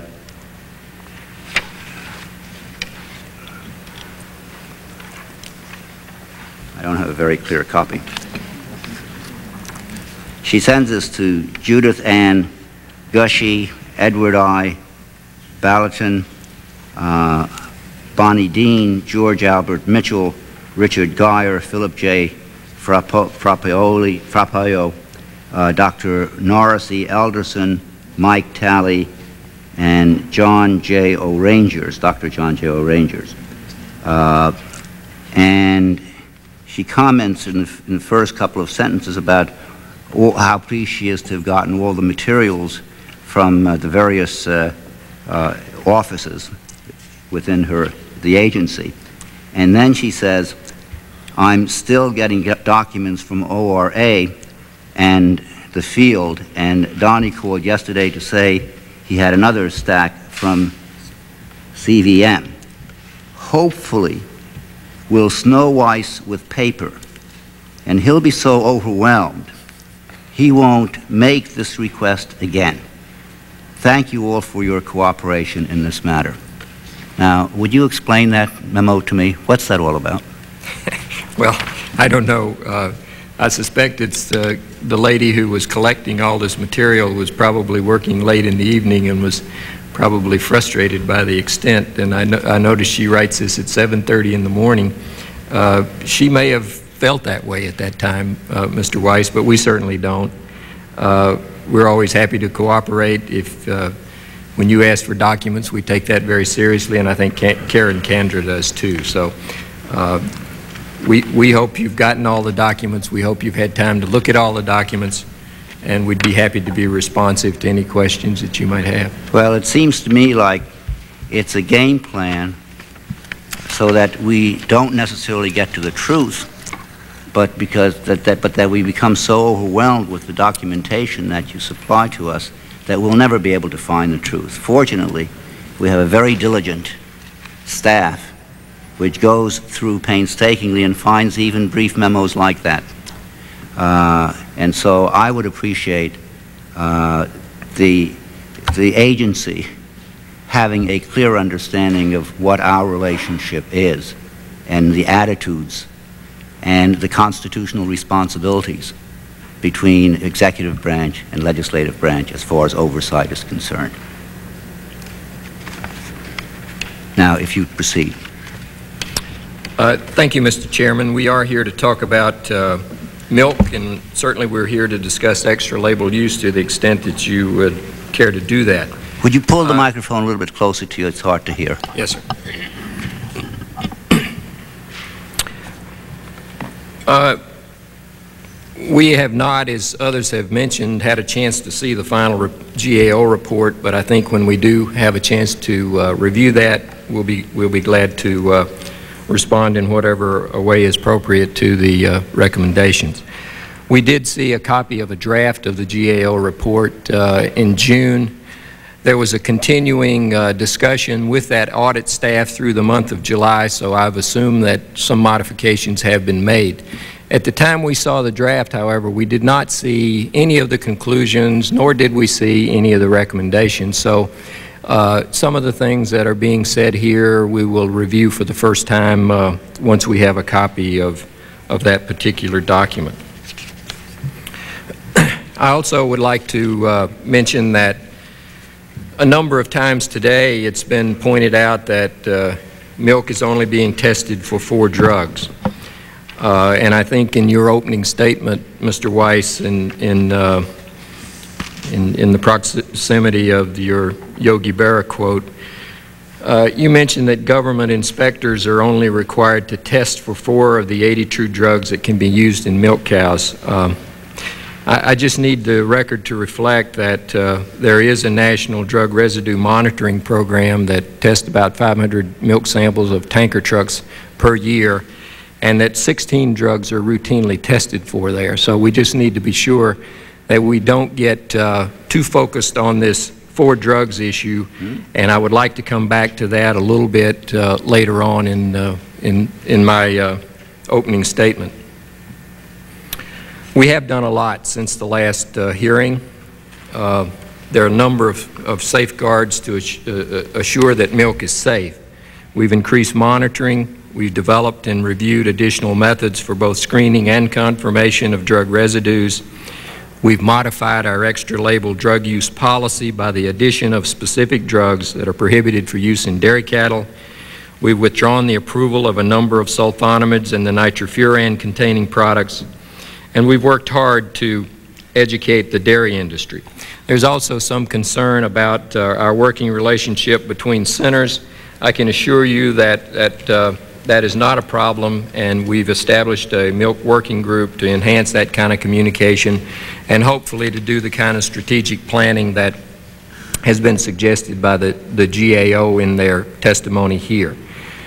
Uh, I don't need to repeat the fact that the milk industry since January 1 is, is testing every tanker truck for the beta-lactam drugs. Those are the uh, drugs that are penicillin and penicillin-like. There are the, those are the drugs that are most likely to cause an allergic response in people, and that incidentally is probably, uh, from a likelihood standpoint, the most serious problem that uh, uh a contaminated milk with a, a beta-lactam might, uh, might impose at the levels that we've seen uh, up to now. The states do monitor that program. Uh, they started on July 1 with random sampling and routinely reviewing the lab records at those dairy plants. So there's a good program in place, uh, and that was at the uh, initiative of the agency plus the National Conference on Milk Shipments. I also mentioned earlier the National Drug Residue Milk Monitoring Program, which started in February of 1991 we realized that the state programs and the industry programs needed to be supplemented because we needed to look for more than just the beta-lactam drugs. And because of that, we put this program in effect. We're doing about 500 samples a year. We're looking at uh, 16 different products. We found some minor problems. We found some traces of drug, uh, and until recently we had not run across one that was uh, a, a tanker truck that carried either sulfonamides, uh, tetracyclines, or the beta-lactams that were above uh, our level of concern. More recently, we have found one in the Midwest, and action is being taken to uh, correct that problem and to bring about whatever regulatory correction is necessary. We've been developing test methods. I think uh, it's been, we've been depicted incorrectly in saying that we don't like screening methods. We understand screening methods, and we understand screening methods' place in a regulatory environment.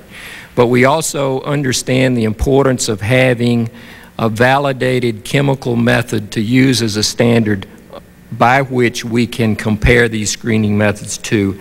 And for that reason, we have had methodology development in both the chemical the long, the costly chemical method as well as in the screening methods. We haven't done as much as we'd like to do. We have now done, uh, we now have uh, three kits that have been reviewed in, uh, for, for screening method validity, and we're ready to pass those on to the states. We have also developed analytical methods for, for uh, in addition to that, 22 animal drug residues in milk, and we're working on 13 others. Uh, the commercial world knows that we, the FDA, and the Association of Analytical Chemists are in a position to evaluate their screening methods and make these methods available to the states. And that's taken some time to do that, but, but uh, we're not lazy, and we're not dumb, and we're not uncaring. We simply have to be sure things are done correctly before they're placed in the hands of, of regulatory officials. We continue to work with the American Associations of Bovine Practitioners and the American Veterinary Medical Association by assisting in the education of veterinarians about the requirements of the Pasteurized Milk Ordinance. We've also worked with the National Milk Producers Federation and the American Veterinary Medical Association in development and implementation of their milk and dairy beef 10-point quality assurance program. That program is designed to avoid residues where they occur, and that's on the farm. We can continue to devote significant resources to training FDA regional milk specialists and state inspectors and sanitarians and rating officers. After that, we have to train then F, uh, uh, laboratory branch people, uh, and, and that is done by our laboratory quality assurance folks. So there's been an awful lot accomplished in the way of more testing, providing more methodology, and assuring that the milk supply is safe. Uh, we will do more, and we will continue to do more. And in the things that you point out to us and GAO points out to us, we'll work on those things. Uh, and, and, and we will make progress. Now, if I could, I'd like to turn just a moment to extra label use of veterinary drugs and, and the policy that has been talked about uh, uh, both in the congressional panel as well as in the GAO panel. We know that in 1968, Congress passed a law in Section 512 of the Federal Food, Drug, and Cosmetic Act, which says that use of a drug other than labeled is illegal. We understand that. we also know that the law required us uh, in, in the approval process to make drugs available to laypersons if adequate directions for use could be written. And so 80% of the therapeutic drugs for use in food-producing animals are legally sold over the counter.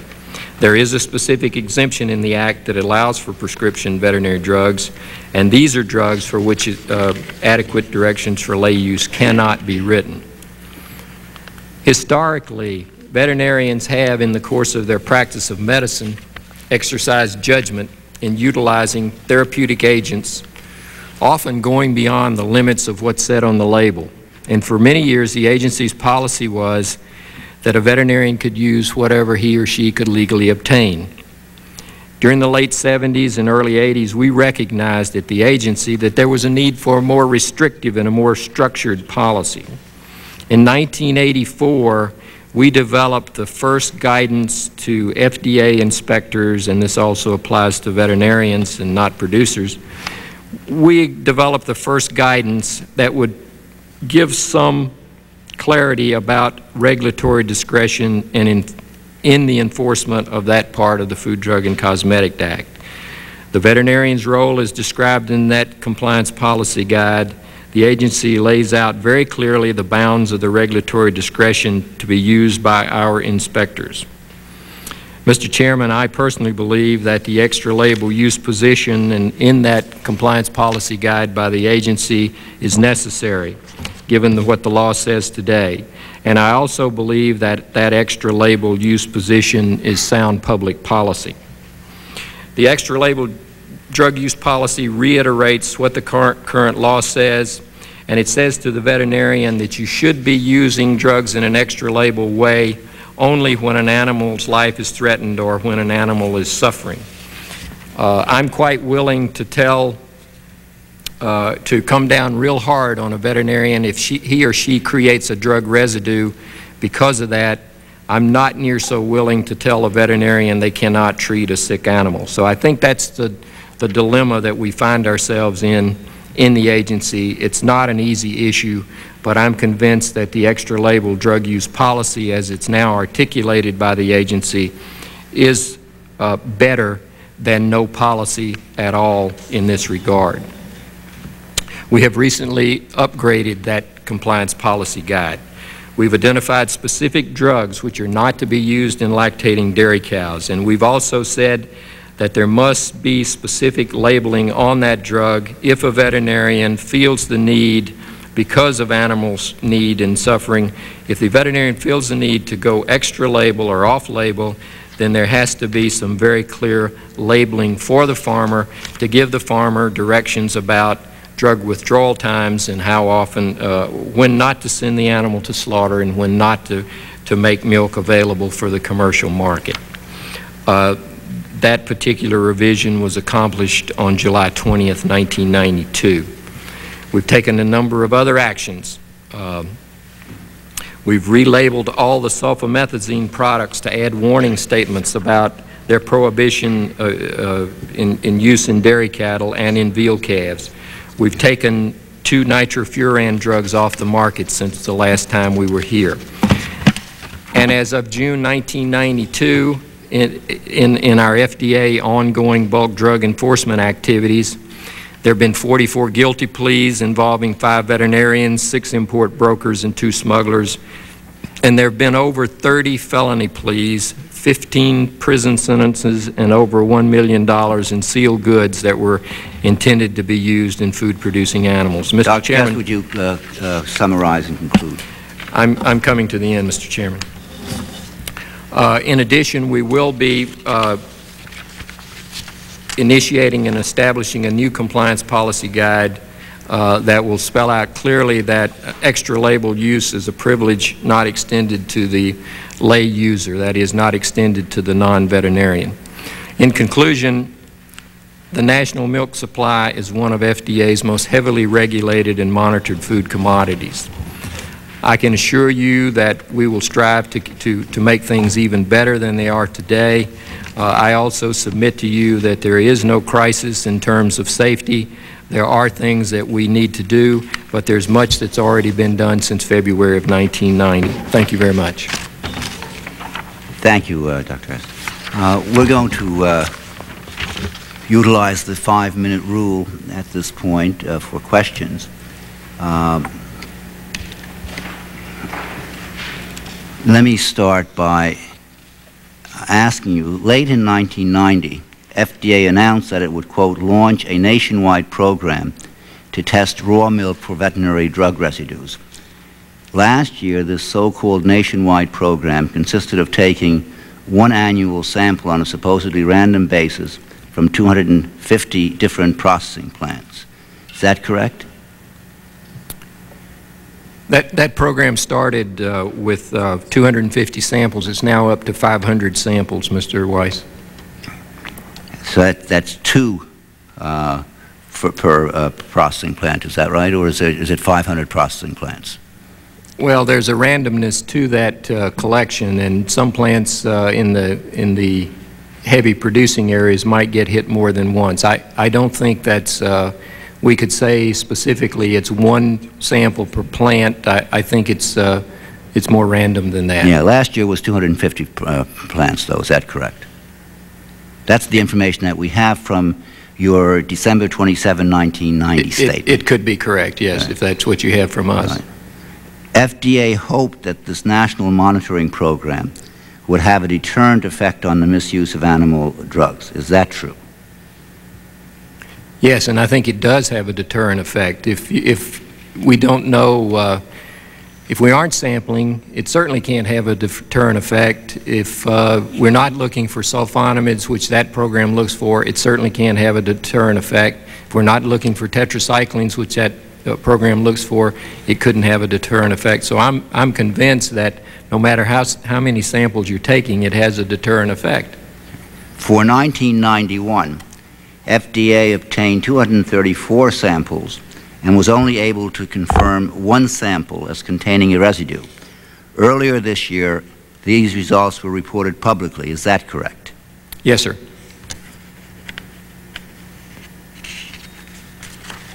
But, Dr. Guest, isn't it true that just a few months after this program began, FDA knew that some milk plants were being tipped off when samples were to be collected?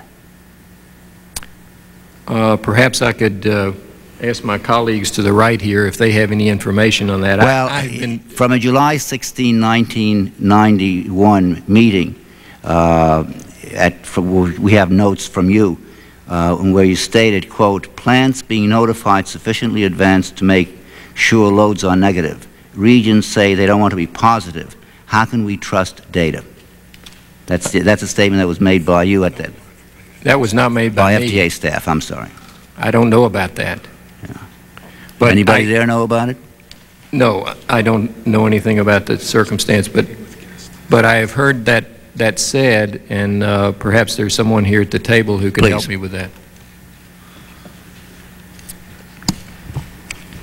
Mr. Chairman, uh, we became aware early in the program of two instances, I believe one in Florida, one in Wisconsin. In both cases, the inspectors were corrected, and uh, we believe the problem was very minimal. Uh, we have not, at, at, least to my knowledge, uh, received any more reports. We don't think there was any intent by the inspector to alert the plant to, to divert their uh, materials, but only um, to tell them we were coming, and that was a mistake, but, but we have no reason to believe they did anything different than normal. Well, uh, the, the notes of a September 5, 1991 FDA meeting suggest that the agency did not wish to take direct action against the cheating.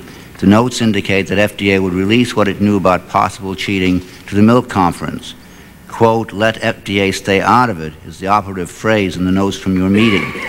Why did you decide to pass the buck and not take any action yourself?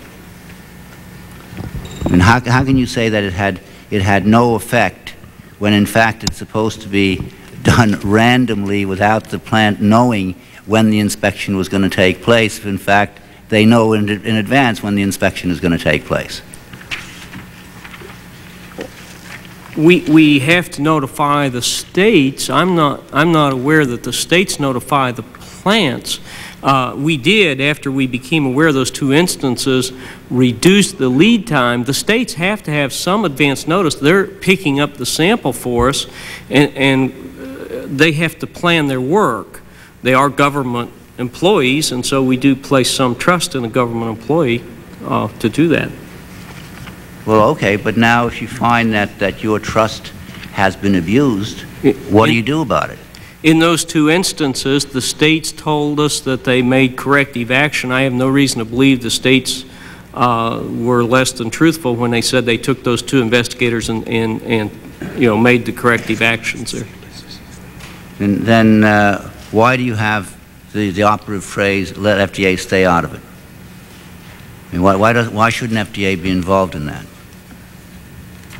I'm not sure I understand the question there. Well, the, the notes indicate that the, the uh, attitude of the FDA seemed to be that uh, let somebody else deal with that problem, not our problem. When in fact, whatever your national plan is, whatever its inherent worth, or its potential inherently may be, if in fact your, the trust that you place in the state agencies is misplaced, uh, then the plan can't work.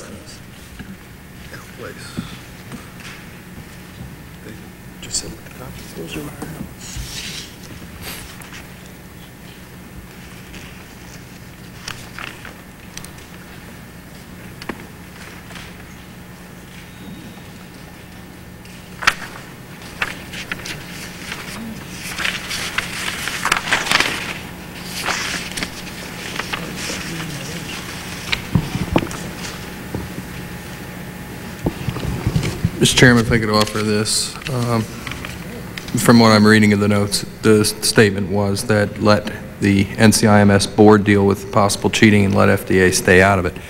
That statement seems to have been made by a non-FDA individual, uh, or possibly by an FDA individual. But in any event, I think uh, the NCIMS board, um, this being a cooperative, state-federal cooperative program, uh, would be the appropriate place to sort that out with, between the federal government, the states, and the, uh, and the industry.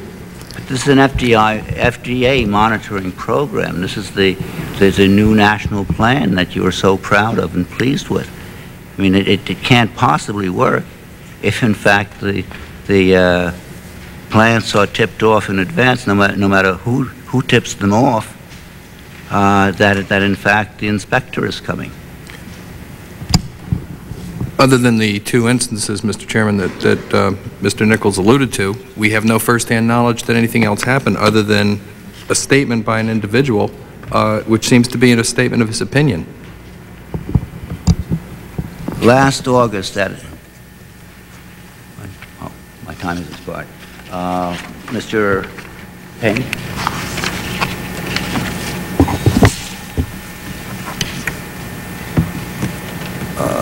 Yes. um, In the, uh, the GAO uh, report, um, there was a statement that farmers, non-veterinarians may copy extra label use by treating dairy cows with over-the-counter medications. Now, over-the-counter medications dispensed by veterinarians must adhere to specific labeling requirements. Uh, I wonder if anyone of you could elaborate on, on what regulatory action will be taken on failure to adhere to these labeling requirements on the part of farmers or vets. Well, over-the-counter drugs are used by veterinarians as well as by farmers, and, and prescription drugs are those that are controlled by the veterinarian but, but often dispensed to the farmer for use on his farm. So uh, the outcome either way would be the same if there's an extra label use involvement. If there's an extra label use involvement where the veterinarian's involved, uh, we contemplate that there will be a lot more knowledge about the use of that drug and how to use it safely than if the layman has acted alone. Uh, In either case, if a drug residue is created, uh, we would come down the same on an extra label use as we would for a failure to withdraw the drug on a, on a non-extra label situation. So uh, in, the, in the first case, if, if meat or milk, uh, in the case of meat, if, if there were a violation, uh, that particular farmer would be notified and the farm visited, uh, depending on the seriousness of the problem. Uh, In the case of milk, uh, what you've heard earlier is that milk caught with a violative residue is dumped. So there there is a penalty for creating a drug residue by the extra label use or, or- or other means. Hey, um, uh, Earlier, we heard that um, uh, there are some persons from, from dairy-producing areas uh, felt that the industry could sufficiently uh, police themselves.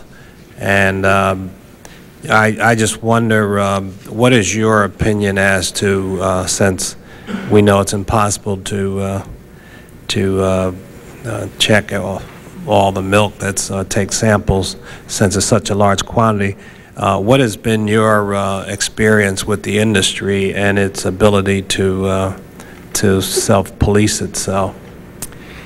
I think with this particular commodity, as well as with a lot of others, that greater and greater industry involvement is needed for quality assurance of the product. I think there is a government role, but I think the government cannot possibly test every lot for everything that might possibly occur. So I, I uh, as a, an individual, am very much in, uh, in favor of more and more industry quality control programs. There, there seems to be a, a move for more and more uh, reliance on, on the industry. Um, uh, we, we heard uh, some discussion some months ago about the uh, Vice President's um, uh, Committee on Competitiveness, where the allowance of uh, certain pharmaceutical drugs could be approved at maybe half the time. Uh, there also seemed to be a, um, a, uh, uh, what I'm, what, what I'm trying to get to, I, and maybe I'll just ask the question, is, do, do the independent agencies, uh, your agency, have uh, the flexibility to simply make determinations that you feel happens to be best for the industry? And, well, I'll use it as an example. Uh, in Rio, there was seemingly from the uh, EPA uh, director a particular feeling that there should be a certain position that we should have because of the environment, but it seemed that there were some conflicting uh, and overriding positions that came from somewhere other than EPA. Uh, Is, is there any uh, collaboration between other departments as it relates to FDA as it happened in that EPA example? Oh, I, I've never felt any overriding influences outside of the judgments we make within our, our budgets and within our priorities. I think we have a clear mandate uh, to enforce the, the law, and I think we, we do that within the constraints that we have as far as resources are concerned, and I don't feel that anybody is trying to take the science in a different direction. Uh, I've never felt that.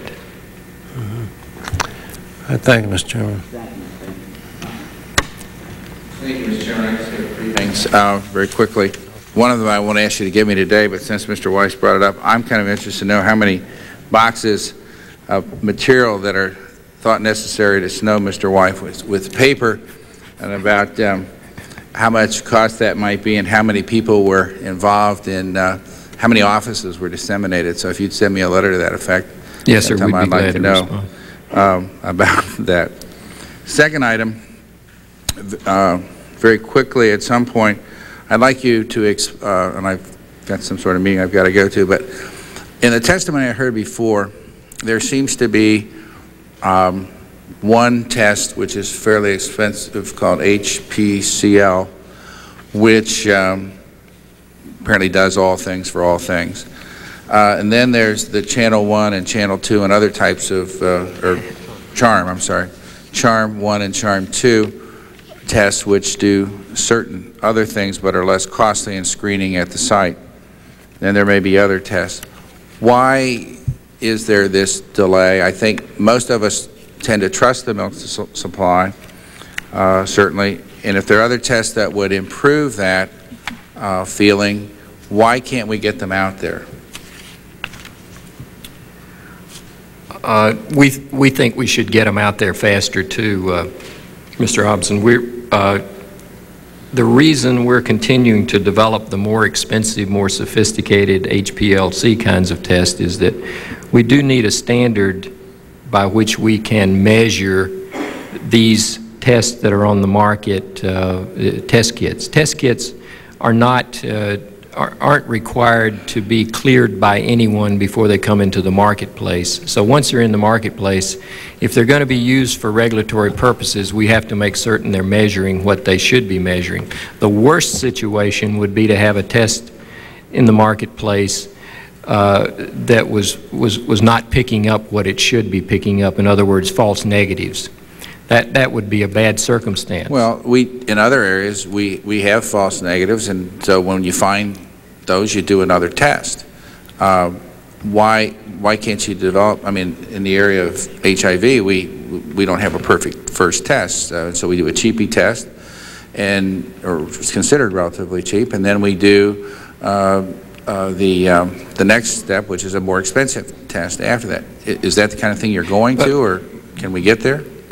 Well, with a screening test, you can sort out the false pos positives and decide if that was a valid positive. If you get a negative, the milk goes on and you, you, you don't have any reason to follow up on it with the next test. So, so my point is that we probably seem slow and we probably seem unconcerned, but we want those tests to be correct. And, and we have now finished the three kits that I talked about. Those are being made available to the states. They do test for the drugs that are most widely used uh, in, in uh, dairy practice. So we're not happy, but yet we're making progress, I guess is the answer. I, I guess, though, if Mr. Weiss were asking this question, he would say err on the side of health, err on the side of that which protects the public versus dollars. And, and I, I think that's, that would, I think we would all share that concern. And, and I think if the effort is on the side of dollars, then I think that's wrong, and I think we ought to look at the side that is the most cost, still not, not, I don't want to be non-cost effective, but on the other side, you've got to err on the side of the health of the public. If, and, and I think that is the question that, that's being raised. But I guess I would urge you um, to be as fast, at least be working on this in a way that it does not that is not dilatory and certainly does not appear, appear to be dilatory. And thirdly, I'd just like to quickly ask you, is there any comment you'd like to make about the GAO? Well, you may not want to make them all, but is there any comment that you would like to make uh, about the GAO report uh, at this point that uh, you'd like to, to talk about? Well, uh, there, there's not much we can say, having not seen it earlier. Uh, That's why I'm asking you. Is, is uh, but on, the other hand, uh, the auditors were with us uh, the better part of two years, spending a lot of time looking at... When did you get the report? Excuse me. When did you see the report in its completed form? Oh, this, this, I haven't opened the page yet. I, uh, we picked it up from the table over here uh, to my left. So we, this morning is the answer to your question. Okay. You, but you've had no conference with the GAO about the report prior to today? I mentioned that in June, we saw a draft report without any conclusions or without any recommendations. But the, the first time you've seen the, the conclusions and the recommendations are this morning? Well, the first time we've had them in our hands, I haven't had a chance to read them because the hearing had started by the time uh, we, we got them. So it, we're at a disadvantage. We feel a little bit ambushed by that. Mr. Mr. Hobson, you, would be pleased to know, perhaps, that the first time we saw it was yesterday, the final draft, the final copy. Um, Okay, if, the- I- my time is about up, but if you've got any other comment about the, re- what you think is in the report, uh, or what you're able to discern, uh, you you you can continue if you like. Or if you'd rather wait and uh, make any comment later for the record, I- I'm sure the chairman would appreciate receiving that. We would like to do that later for the record, once we've had a chance to review the report. Thank you. Thank you, Thank you, Mr. Chairman. Uh, You did have a three-day uh, exit conference with GAO back in June, is that right? There was a three-day session on, on On, on June 29th, we had an exit conference that lasted the- into the next day and the next day. Right. And then all the way through the month of July, there were phone calls and discussions. We, we didn't see the conclusions, we didn't see the recommendations, they weren't shared with us. We assume that the report changed during the month of July because there was so much discussion, but we don't know that for sure, Mr. Weiss. Um, Let me uh, go back to where uh, I I stopped the questioning before, where you had, I think, Dr. Archer, you had said that you only know of uh, two instances uh, in which uh, there was this information uh, tipped in advance. Isn't it a fact that there was a request for a draft audit plan to determine whether, in fact, it went beyond those two instances? Are you aware of that? Mr. Chairman, I, I don't have any firsthand knowledge of that. I'm, I'm, perhaps Mr. Nichols does. Well, if, if, if you will, if you have a copy, if not, we'll set, we'll give it to you.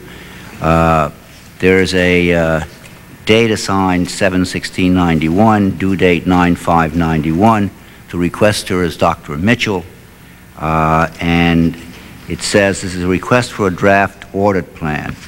The plan, if executed, is to determine if information about the milk sampling site and dates is known to individuals at the sampling site uh, who call, who could direct, divert antibiotic residue tanker uh, milk to avoid being sampled in the FDA NDR MMP. Now, the question is, was there such a, an audit plan drafted?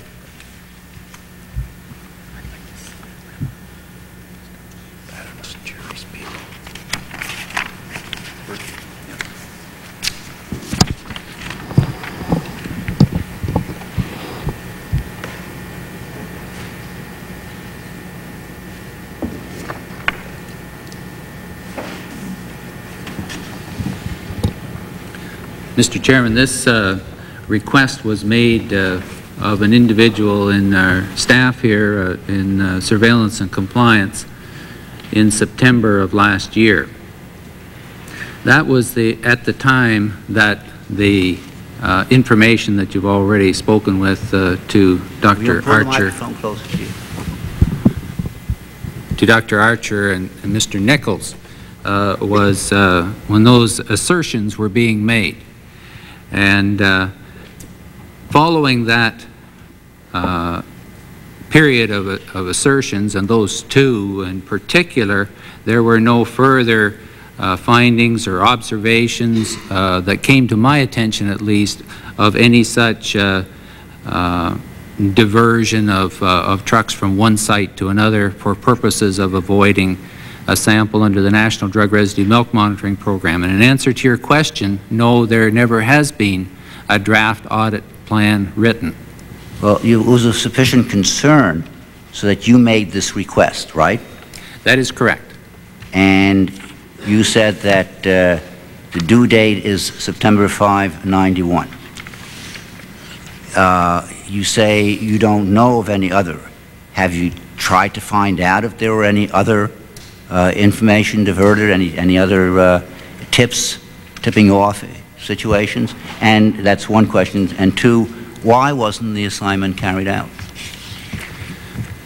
We were very acutely attuned to further allegations uh, all during this period, and no further uh, information of that nature came to our attention. And in the absence of further um, need and in consideration of other work that needed to be carried out, this draft plan was never prepared. See, that's, that's very strange. I mean, here you tell me that, that uh, with great pride about this new national monitoring plan. And then you tell me that, that you get information about uh, two instances where there is a tipping off in advance to the plant as to when the inspectors are coming. And you tell me that there is sufficient concern on your part that it may go beyond those two instances, that you make an assignment returnable on September 5th, that uh, there be a draft audit plan. And that draft audit plan is what's supposed to find out for you whether in fact there are any other instances. Instead, you decide on the basis of vibrations that you get from God knows where that in fact there is nothing else out there without the benefit of that plan being implemented. I don't understand that. Why? Well, uh, those vibrations, uh, Mr. Chairman, are, I think, uh, through the Food and Drug and Field Organization, rather extensive through regional milk specialists and FDA inspectors throughout the country. Uh, and through our surveillance uh, at uh, professional meetings and by staff who are attending those meetings, that uh, if there were other reports of diversion of this nature, that we would in fact have heard something about them. And so you didn't, you didn't request a follow-through, you didn't insist on a follow-through of the draft audit plan because you were willing to accept an informal uh, vibration system to tell you whether in fact there were problems or not, with, instead of going at it methodically. That is correct at this moment. That's not to say that we would not, at some point in the future, prepare that draft plan and offer it for approval. Thank you. Uh, my, my time has expired. Mr. Payne? Uh, I have no uh, further questions, Mr. Chairman. Uh,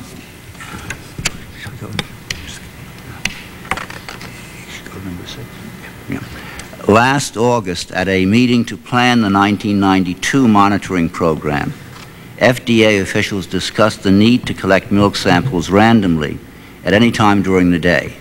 This would avoid the problem in 1991 when the program required, and plants probably knew, that the milk was to be taken from the first truck that arrived after the inspector was set up to take the sample. Isn't that true?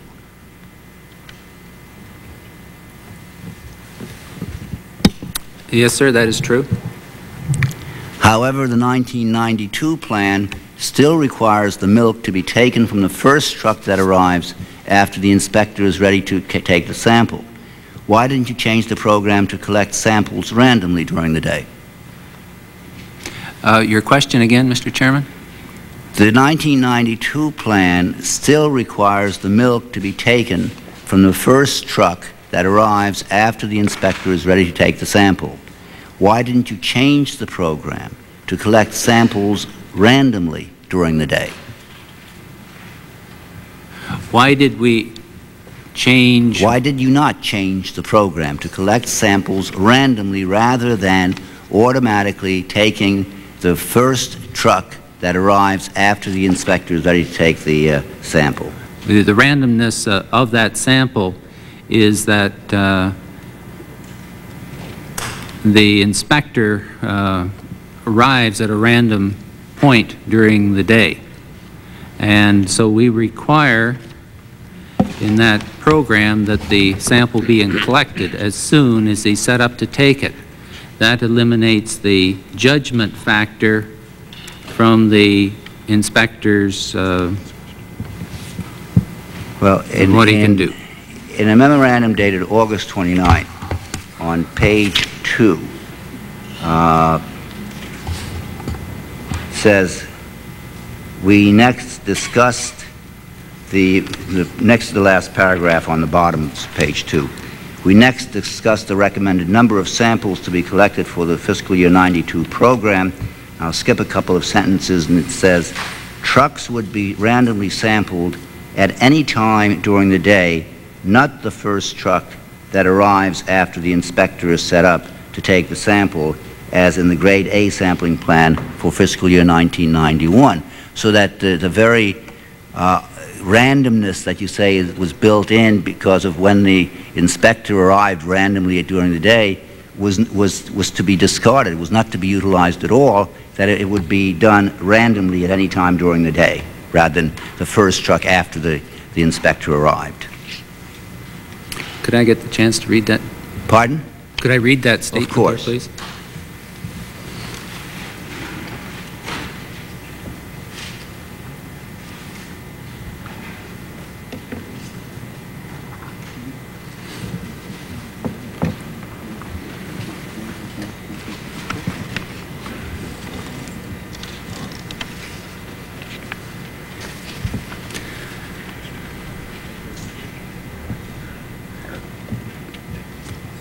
Bottom of page two, you'll see some yellow. Uh,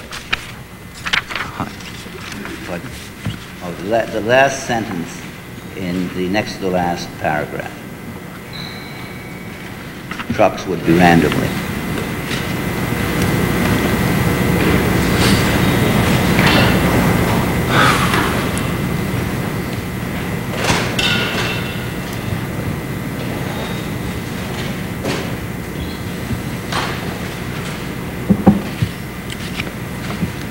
I might ask uh,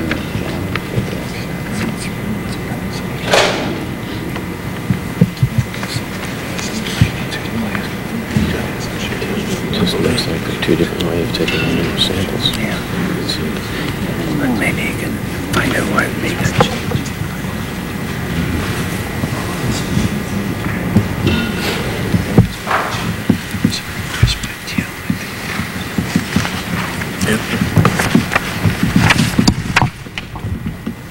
Mr. Chairman, this appears to be a, a, document describing a meeting where a lot of ideas are, are thrown around.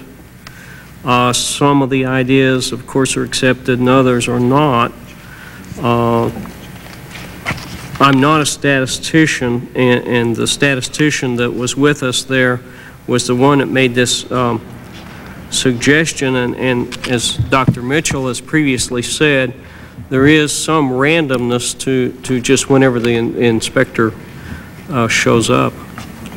Right, so you didn't make the change at all because the fiscal 92 uh, plan, in fact, provides, uh, quote, "The inspector will obtain the sample from the first truck that arrives after the inspector is ready to collect the sample." That's correct. It- The, the change was not made um, after this discussion. Another problem with last year's program was noted in the February 1992 FDA memorandum, which stated that, quote, "Samples are only collected on Monday and Tuesday, and some are concerned that this is widely known by the industry." GAO informed, close quote, GAO informed the subcommittee that samples are still being collected only on the first few days of the week. Doesn't this compromise the random nature of your program?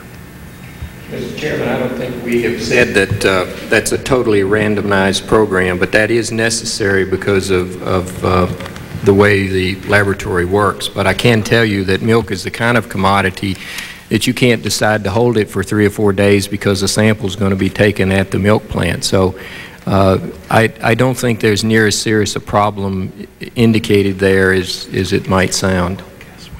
Milk continues to come in every day at a processing plant. It can't be held on the farm for an indefinite period of time. And I don't think that the, uh, the intelligence uh, among the, uh, the intelligence gathering systems would, would cause that to bias at all that program.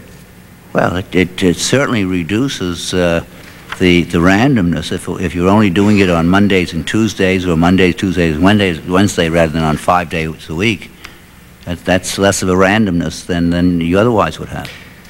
I wish we could check every tanker of milk every day I'm not suggesting that you check every tanker of milk. it, we, we just simply aren't set up in a matter, with a matter of our resources to do that.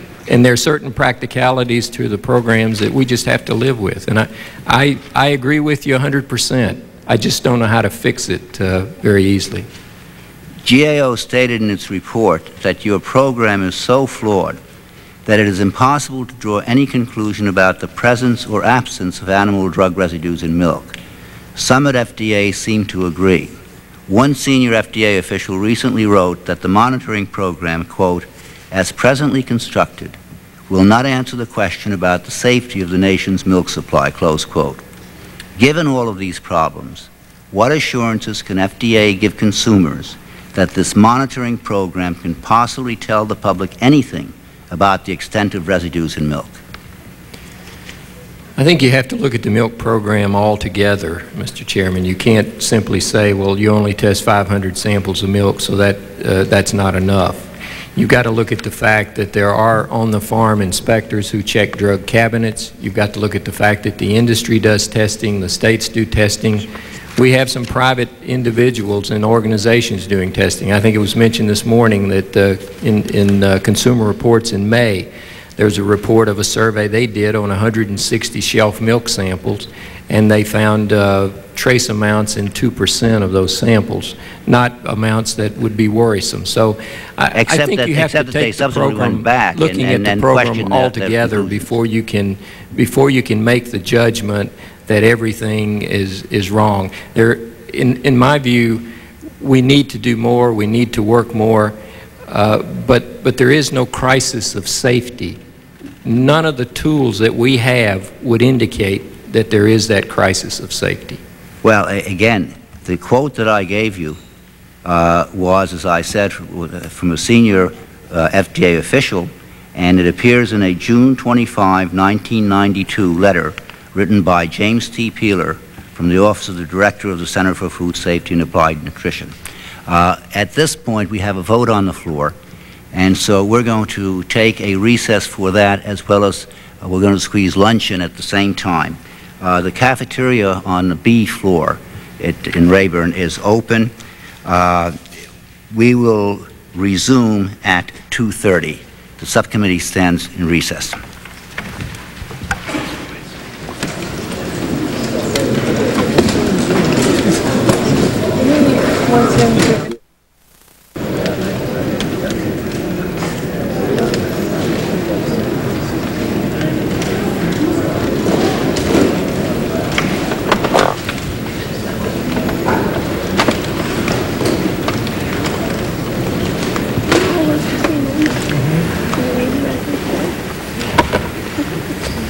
Again, my apologies. Just at the time, just at the time we we're about to resume, we had a series of votes.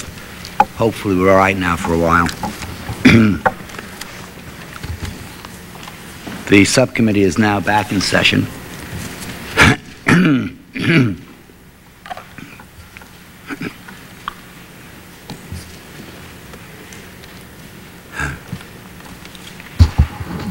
On February 25, 1992, FDA wrote that as a result of this, of the new testing requirements under the milk ordinance, quote, states report that between three to four times more milk is being identified and reported by industry as contaminated, close quote. However, as earlier noted, this new testing covers only four out of the 82 drugs that can be used on dairy cows. The subcommittee has learned that even for this limited testing, during the first three months of 1992, nearly 1 million pounds of beta-lactam tainted, tainted milk was dumped in New York State, over 800,000 pounds in Minnesota, and over 11 million pounds in Wisconsin. Now, Dr. Guest, don't these figures suggest that beta-lactams are being misused by the dairy industry?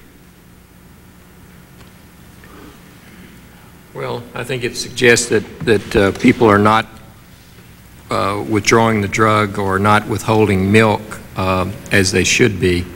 Uh, But the beta-lactams uh, generally are approved for use in dairy cattle. It's probably just uh, a matter of, of mistaken use or improper use. Right.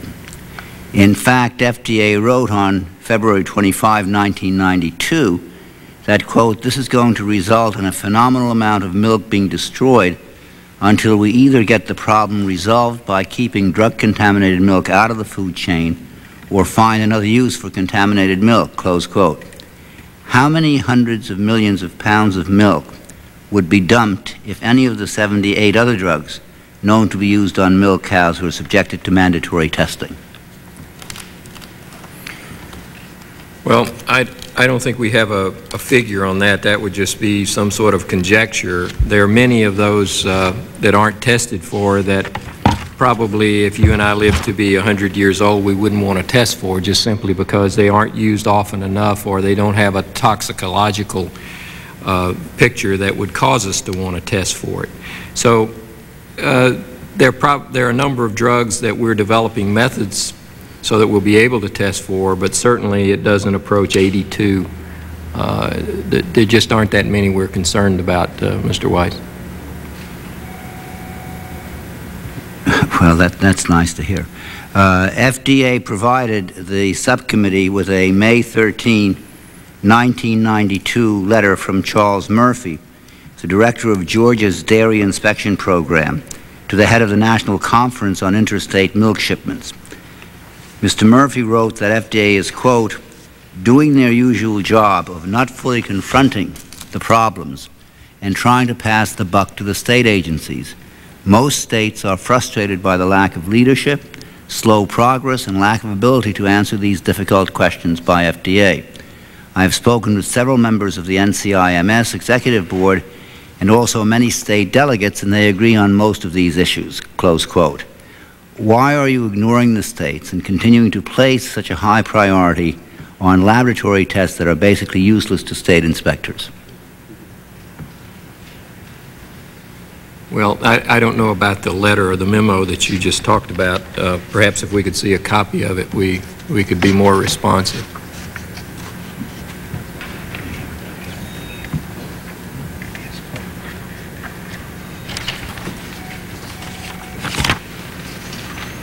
It's a uh, letter dated uh, May 13, 1992, um, and uh, the on page two, paragraph number uh, nine covers the area as well as the line just below, the paragraph just below it that I touched on.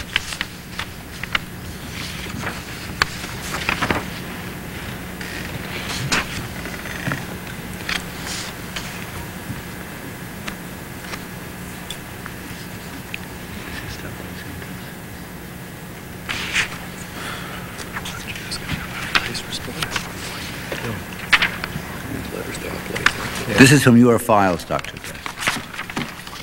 Well, the, uh, the letter is addressed to uh, Mr. Alfred Place, who's the chairman of the National Conference on Interstate Milk Shipments. I guess if, uh, if there's an individual in the program like Charles Murphy who feels this way, then we ought to try to deal with that. But on the other hand, uh, I haven't ever spoken to Mr. Murphy about this.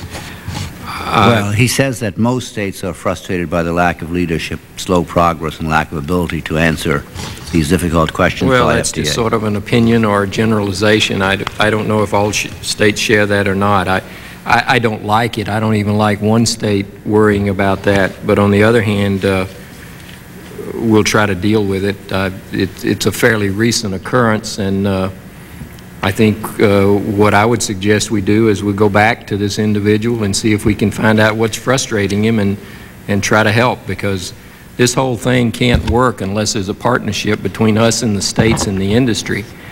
And for this thing to work, we've got to be very upfront with each other. So if, if this person feels like there's a lack of leadership uh, on the FDA side, I hope we can address that, and we'll be glad but, to but do that. Dr. Guest, isn't that really the problem? This is this person, his, this Charles H. Murphy, is the director of the Dairy Division of the Department of Agriculture of the state of Georgia. He's not speaking in an individual capacity. He's speaking as a state official. Uh, And for you to consider that this is fairly recent because it's the middle of May of 1992 when we're now moving on to the middle of August is, is an indication, again, of, I think, the lackadaisical attitude that the FDA has about this problem. Well, I, I don't agree with that, but certainly uh, we'll look into it, and, and, and if there's some corrections that need to be made, we'll do that. Mr. Murphy indicated that the number one test most states are using is not sufficiently sensitive and thus cannot confirm positive screening test results from the milk industry. This problem apparently did not concern the chairman of the NCIMS, who in an earlier letter to Mr. Murphy wrote, quote, the scenario you cite is that we may not be able to confirm a positive screening test reported by industry. If there is no confirmation, there is no positive result, and no regulatory action is required. So where's the risk, close quote. Does FDA share the see, hear, and speak no evil enforcement philosophy? No.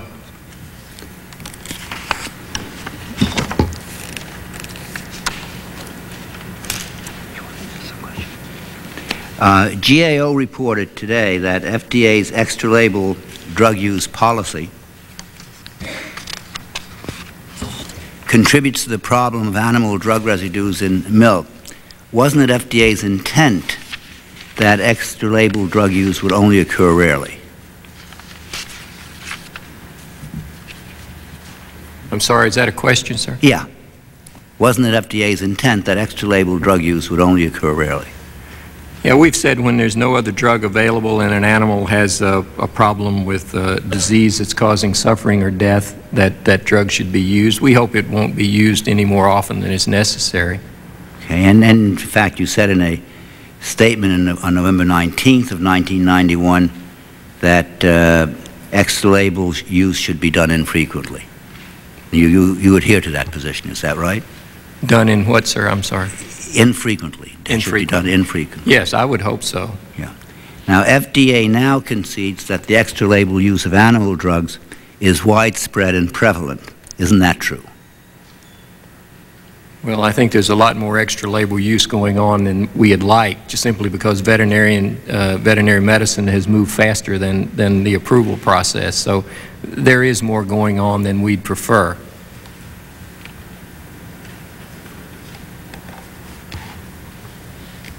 GAO reported today that FDA's extra label drug use policy undermines the agency's control of drug drugs for food producing animals and may discourage drug companies from getting these uses properly approved. FDA seems to be well aware of this problem. In an October 9, 1991 memorandum, FDA acknowledged that one criticism of the policy is that it, quote, circumvents the animal drug approval system and discourages development of new uses for animal drugs. Does FDA agree with this criticism? No, not totally, sir. Why not? Well, I think we, we recognize that extra label drug use is a problem and a dilemma, but, but it's not one of the agency's making. I think it's an issue that needs to be confronted uh, from a public policy standpoint. Uh, we know that there is no chance that for every disease condition in every animal species that we'll have uh, approved drugs for, for every circumstance. So uh, with that being the case, uh, we have felt compelled to try to place some priority on our enforcement. Uh, we do know that most of the drug residues that have occurred, and this is because of our follow-up to drug residue uh, findings and tests, we know that most drug residues come from mistakes made by the animal producer themselves and not by the veterinarian. So I don't think our policy contributes to a safety problem. I think, in fact, if we drop that policy and we took away the focus of that policy so that extra label use went underground, I think we would have created more of a public health problem than, than we would have with the policy. So I, I, uh, I tend to think uh, that, that what we've done is responsible and reasonable. But if a drug company can make millions via extra label sale, what's the incentive to get these drugs properly approved? Well, I think there is a disincentive, but there are a number of uses uh, of, for drugs in, in animal medicine where the, the, the profits don't nearly approach millions of dollars. We're talking, if, if in, in some circumstances, we're talking very small amounts of money for conditions that do not occur often enough, the drug isn't used often enough, and, and I think probably if we're to cure that problem, on the public uh, on the public debate side, we need to be talking about incentives to allow for more drug approvals and, and mechanisms for to allow for more drug approvals because the economics in many cases just simply doesn't support going for a full-blown approval.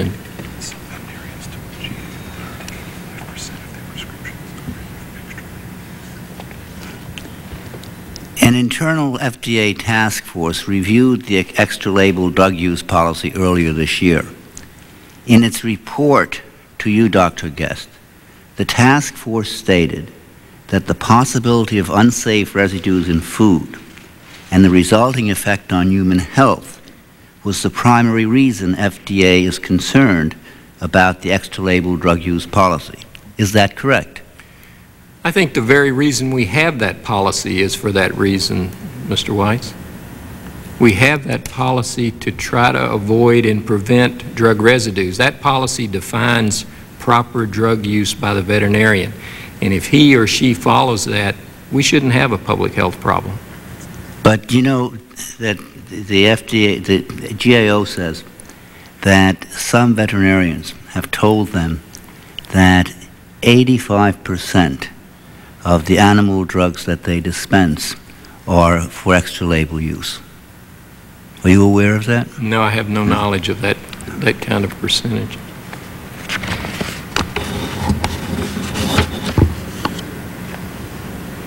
One FDA official put it pretty bluntly when he wrote in October 1991 that, quote, if an approved product is used in an extra label manner, all assurances of safety and effectiveness are void. Do you agree with that assessment of the problem?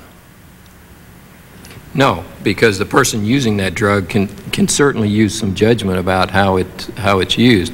I think the labeling is guidance to the individual using the drug, but I would suspect that sometimes you take three aspirin instead of two, and that's an extra label use. And, and, and we, can't, we can't possibly have an inspector beside every cow. So the first line of defense in preventing a drug residue has got to be with the animal producer and the veterinarian at the farm level. And, and so I don't think that uh, the absence of labeling is any excuse not to do something in a responsible way. I wish we had labels for every conceivable use of a drug. That would be the ideal circumstance. We probably aren't going to get there. I wish we could do it. I wish we could come down hard every time somebody causes an illegal residue. The system doesn't allow that. But four out of 82? I'm sorry? Four out of 82? Is that, does that satisfy you? Well, we can talk about those 82 drugs a, a little bit if you want to, because in, in, the way that list was gathered and, and the importance of those drugs there. Well, how, ma how many of them would you say are really problems in your estimation? Well, we, we test for in our milk monitoring system. There's four in the, on the industry side. There's, a, there's 16, four of which, let's see, there's an additional 12 drugs that are monitored for mm -hmm. in the National Drug Residue Milk Monitoring Program. That gives us a very good indication of, of, of what kind of contamination is going on. If one looks through the 82 drugs, and I was very disappointed uh, in the GAO report uh, that I had a chance to look at over the noontime, on page 60, the chart of the 82 drugs has a column, uh, the third column in that uh, particular report says uh, it's a commonly used or it's a residue of concern. Uh, and, and that's all in one column, and they simply put X's uh, beside the drug that might have been commonly used or might create a residue of concern. There's quite a lot of difference in whether something is commonly used and it doesn't create a residue of concern and whether it does. I, I was rather disappointed in the handling of, of, of this because you can't, all drugs aren't created equal. You can't simply look down a list of drugs because it was found one time in, a medicine cabinet at a dairy farm and say, number one, that it's commonly used, and number two, you can't decide that because it is used that it's a problem. There are a number of these drugs that, that, that might be an analgesic, they might be an anesthetic that's used very seldom in an animal's life. There may be other things on here that are used for breeding or calving purposes that might never have the potential for causing a drug residue. So you, you can't say 82 drugs and that they're all the same. We have to prioritize. Well, that's precisely the point. I asked you to give me your estimation of, of, the, of the most hazardous or dangerous ones.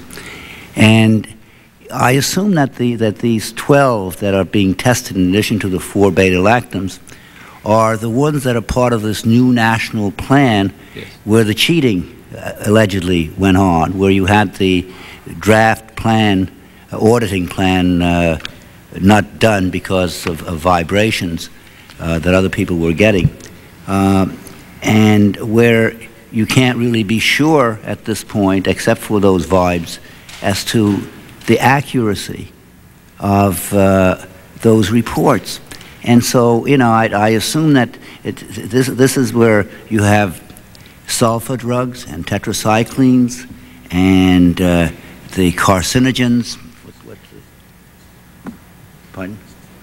Sulfamethazine, uh, the other the chloro, chloramphenicol. I, you know, whole host of it. But what, what concerns me is that there is no real follow through on that monitoring. There really is not. And, uh, you know, all of your, your, your pride in, in this new national plan, I think, is misplaced.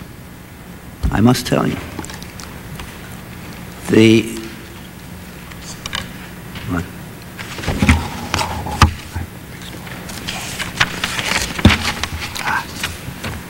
Earlier this year, at the request of the AVMA, legislation was introduced to legalize the practice of prescribing drugs on an extra-label basis. There are some who feel that any legislation in this area must contain incentives for animal drug manufacturers to get more drugs properly approved by FDA. Dr. Guest, you're on record as saying that this legislation does not provide incentives for animal drug manufacturers to get more drugs approved by FDA. Is that correct? Yeah, I'd like to see something uh, along those lines. Uh, we've taken no position on the bill, uh, but I think it's an issue that has to be debated. I think it's an issue that I'm delighted that something's been introduced in the Congress that will bring about that debate. A May 26, 1992 uh, FDA memorandum refers to the Senate version of the VMA legislation. This memo indicates that you do not think that FDA should actively support this bill and that the bill, quote, falls short of achieving a solution to the problem, close quote. Why, in your opinion, does the bill fail to solve the problem? Well, I think if you go on and read that memo, and that's not my memo, that was a reflection by a staffer after having had a conversation with me, and, and that was her interpretation of what I had said. And, and I've mentioned before that we have no position on that particular bill. We've, we've met seven times in the last two years, maybe 11 times, I forget the number, with, with consumer groups and the American Vet Medical Association to try to understand each other's position on extra label use. Extra label use is a problem but it's not one of the agencies making. And veterinary medicine is moving along, advances are being made. We need to find, find ways of accommodating that. We need to find ways of, of, of assuring the consumer that drugs can be used properly and that residues won't be harmful. We need to find ways of, of cranking in the animal drug industry through some incentives to get more drugs approved. It's a complex and multifaceted issue.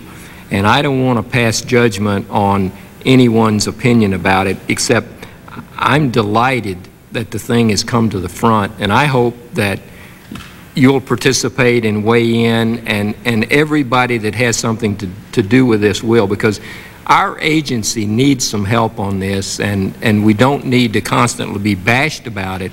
We need help about it.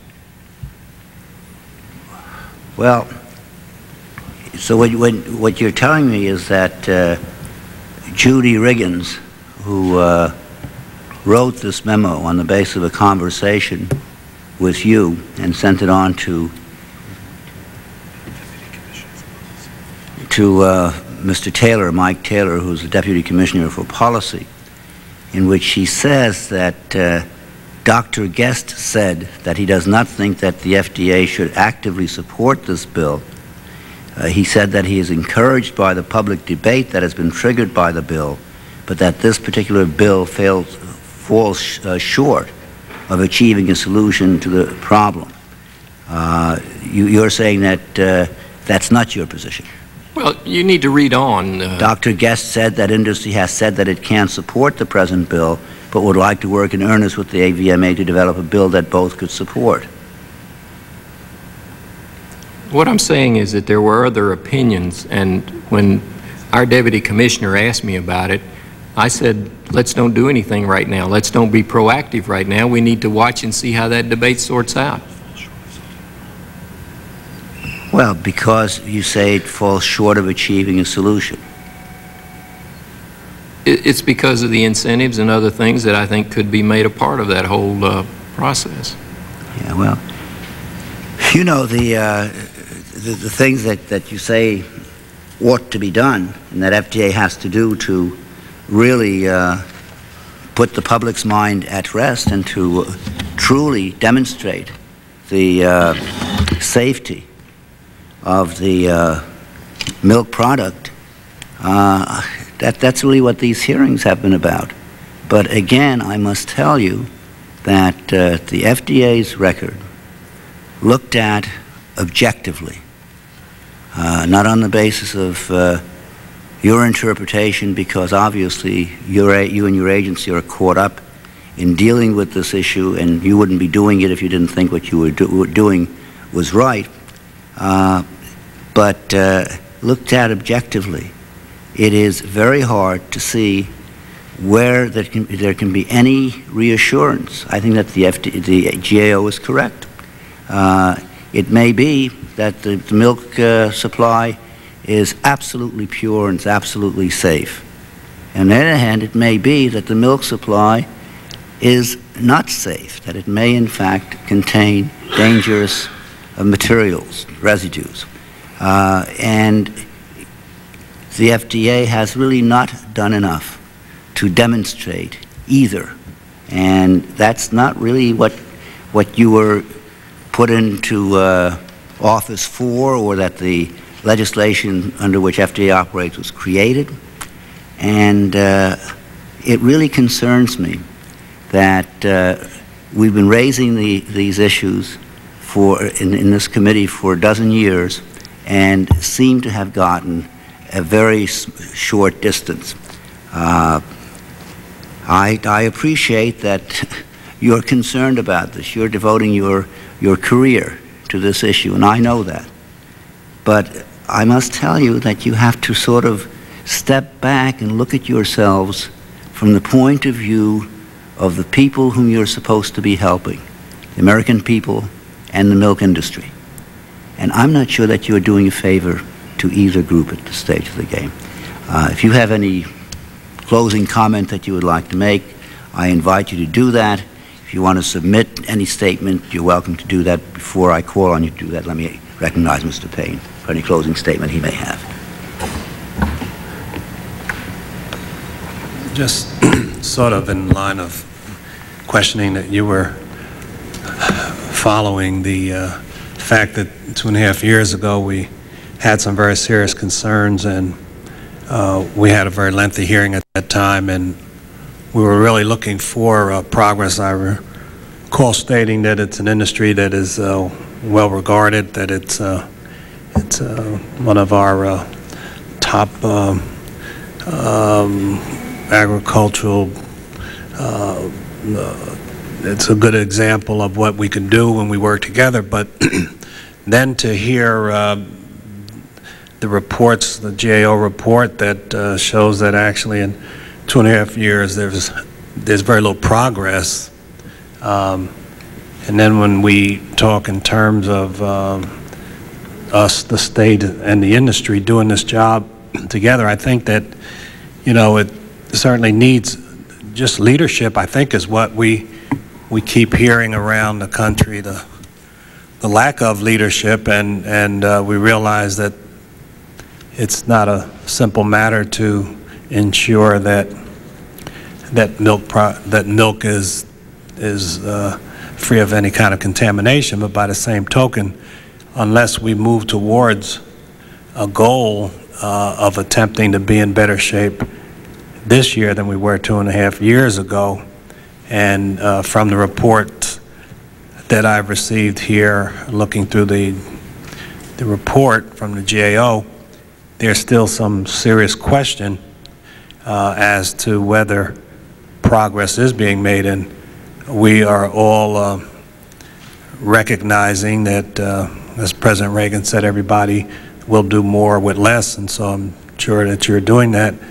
But um, we, uh, it's tough to get less with with less. We, unless we need then to to uh, have a serious request for additional assistance, and then that's something that we need to deal with as as legislators. But uh, we have a very important industry. We we have some very serious concerns, and it simply appears as though the same concerns that we have here on this side of the desk uh, seem to be somewhat different than the concerns on your side of the desk. It may be that you have many, many concerns, and this may simply be one of the many, but to us it's very important. And uh, I would hope that it would not be two and a half years later that we would hear that we're, we're still filling around with the four uh, particular drugs and looking at 12, but hoping that the industry will sort of uh, uh, you know, monitor itself.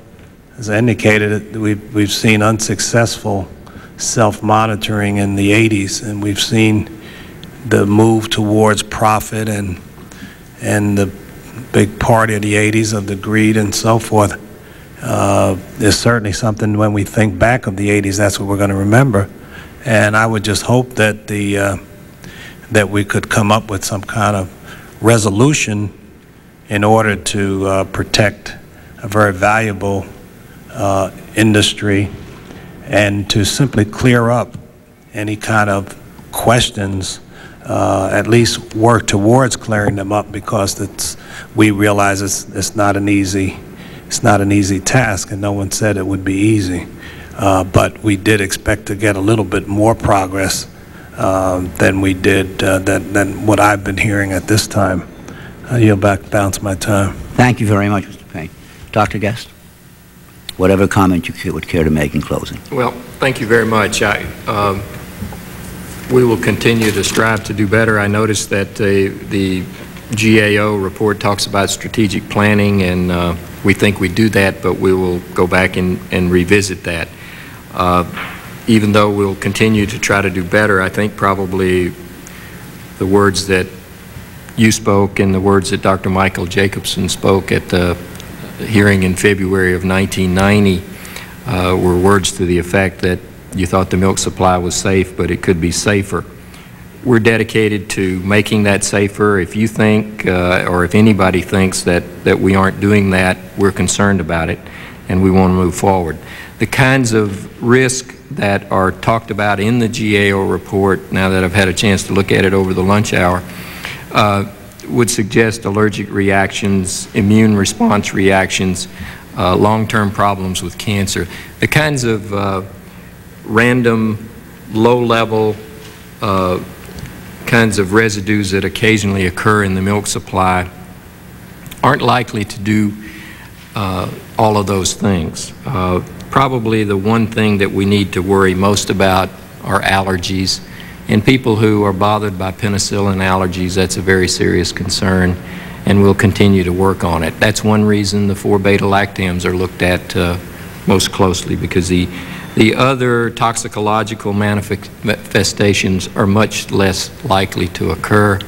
Uh, we're not complacent about that, but on the other hand, uh, we do think that the milk supply is safe.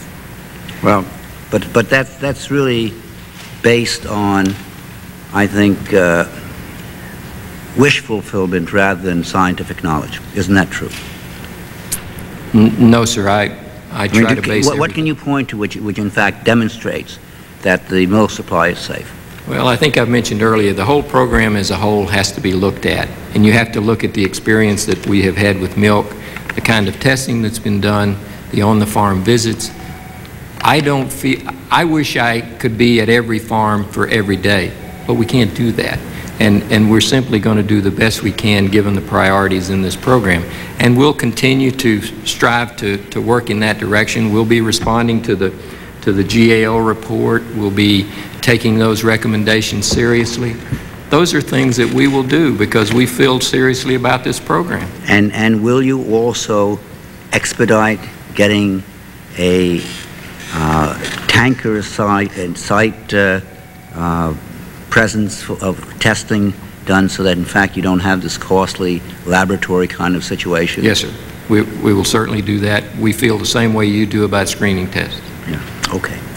Well, I thank you very much for taking so much time from your busy schedules to be with us, and we will obviously be uh, continuing to uh, follow this issue with, with uh, great concern and great interest. Uh, there is no product more broadly used and more highly touted than milk, and uh, I, for one, am not satisfied that it's good enough that just because nothing has happened, uh, we can be assured that in fact the milk supply is safe.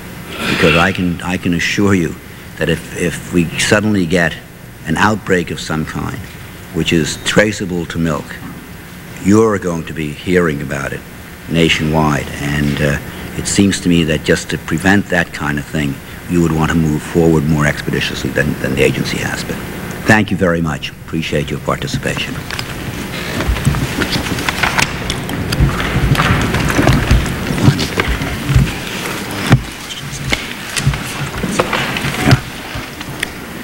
Our fourth and final panel of witnesses represents the milk industry and veterinarians. The first witness is Jerome J. Kozak, Vice President of the Milk Industry Foundation. Following Mr. Kozak will be Senator John Melcher, who is appearing on behalf of the American Veterinary Medical Association. Senator Melcher is accompanied by Dr. Christine Kamen. Um,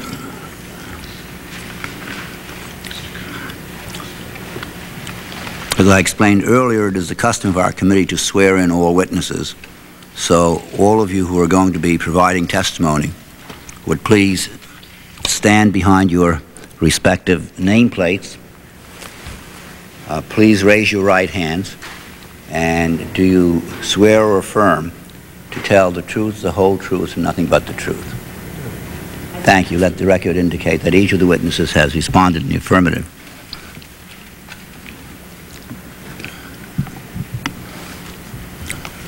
Again, let me express my appreciation uh, to each of you for being with us today.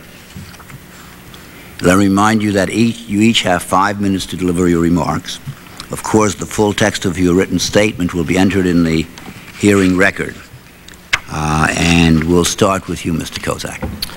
Thank you. Good afternoon, Chairman Weiss and distinguished members of the subcommittee. My name is Jerry Kozak, and I am Vice President of the International Dairy Foods Association. Today, I appear before you on behalf of one of our constituent organizations, the Milk Industry Foundation. MIF is the National Trade Association for Processors of Fluid Milk and Milk Products, and we appreciate the opportunity to participate in today's hearing.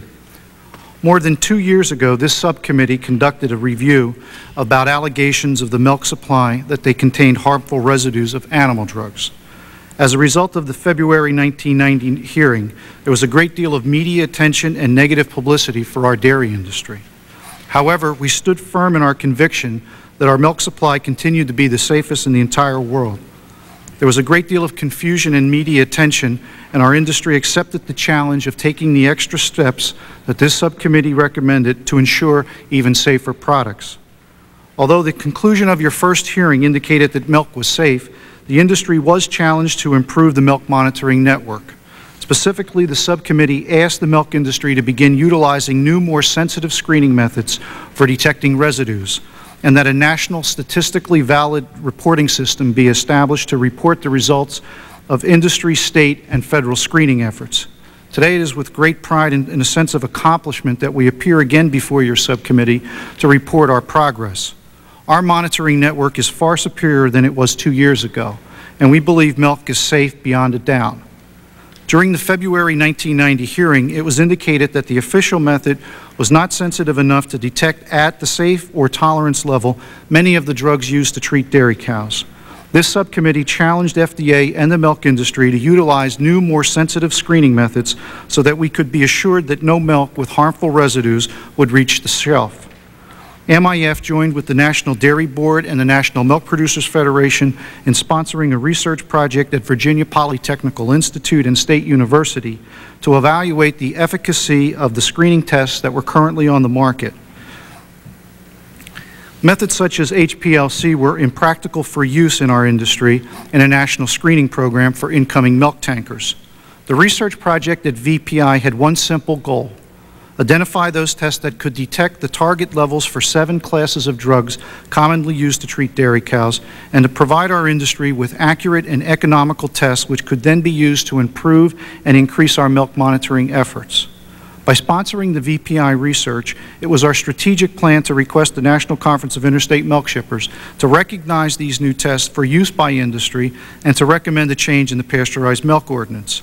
The disc assay method takes approximately two and a half hours to provide tests, making it difficult to test each incoming tanker in a timely manner. Current dairy plant receiving practices require fast, reliable screening methods. VPI completed this research by conducting more than 20,870 evaluations on these test kits. Some test kits did not make it, while others were proven effective for detecting at or below the established safe levels. A copy of the VPI results were released simultaneously to the states and FDA prior to the NCIMS conference in May of 91. In May of 91, NCIMS adopted many significant changes to the PMO. These changes were fully endorsed by the milk industry, and in fact, we recommended many of the new requirements. Those specific changes have already been um, outlined by previous speakers. Immediately in May of 91, we advised our member companies to implement the testing of every incoming milk tanker using these methods. We encouraged our milk industry to begin using these tests because we believe that the VPI results demonstrated that they were reasonably accurate and efficient. These changes were mandated as of January 1, 1992, and these requirements present, we believe, a significant milestone in assuring the public that our milk industry is committed to employing the most stringent health and safety requirements of any food product in our country. At the same time, we also recognize that the testing and monitoring is not the sole solution to controlling drug residues. The National Milk Producers Federation, in cooperation with the American Veterinary Medical Association, jointly instituted a 10-point milk and dairy beef quality assurance program designed to properly instruct farmers and veterinarians in the proper use of animal drugs and herd health management. Our industry believes that information education of producers and veterinarians will bring about understanding and acceptance. Milk quality entails much more than screening for drug residues, and we believe prevention on the farm is the long-term solution. Much hard work and effort have gone into implementing this program. It's our strategic plan to one day replace the philosophy of massive screening at the plant level and replace it with the quality assurance program accompanied by the test, cow side testing on each dairy farm. However, until we are satisfied with the efficacy of this program, we will continue to erect a steel curtain at testing at our plants.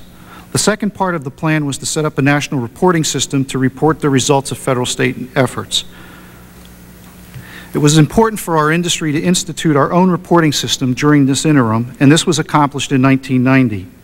I'd like to report on the results of our progress.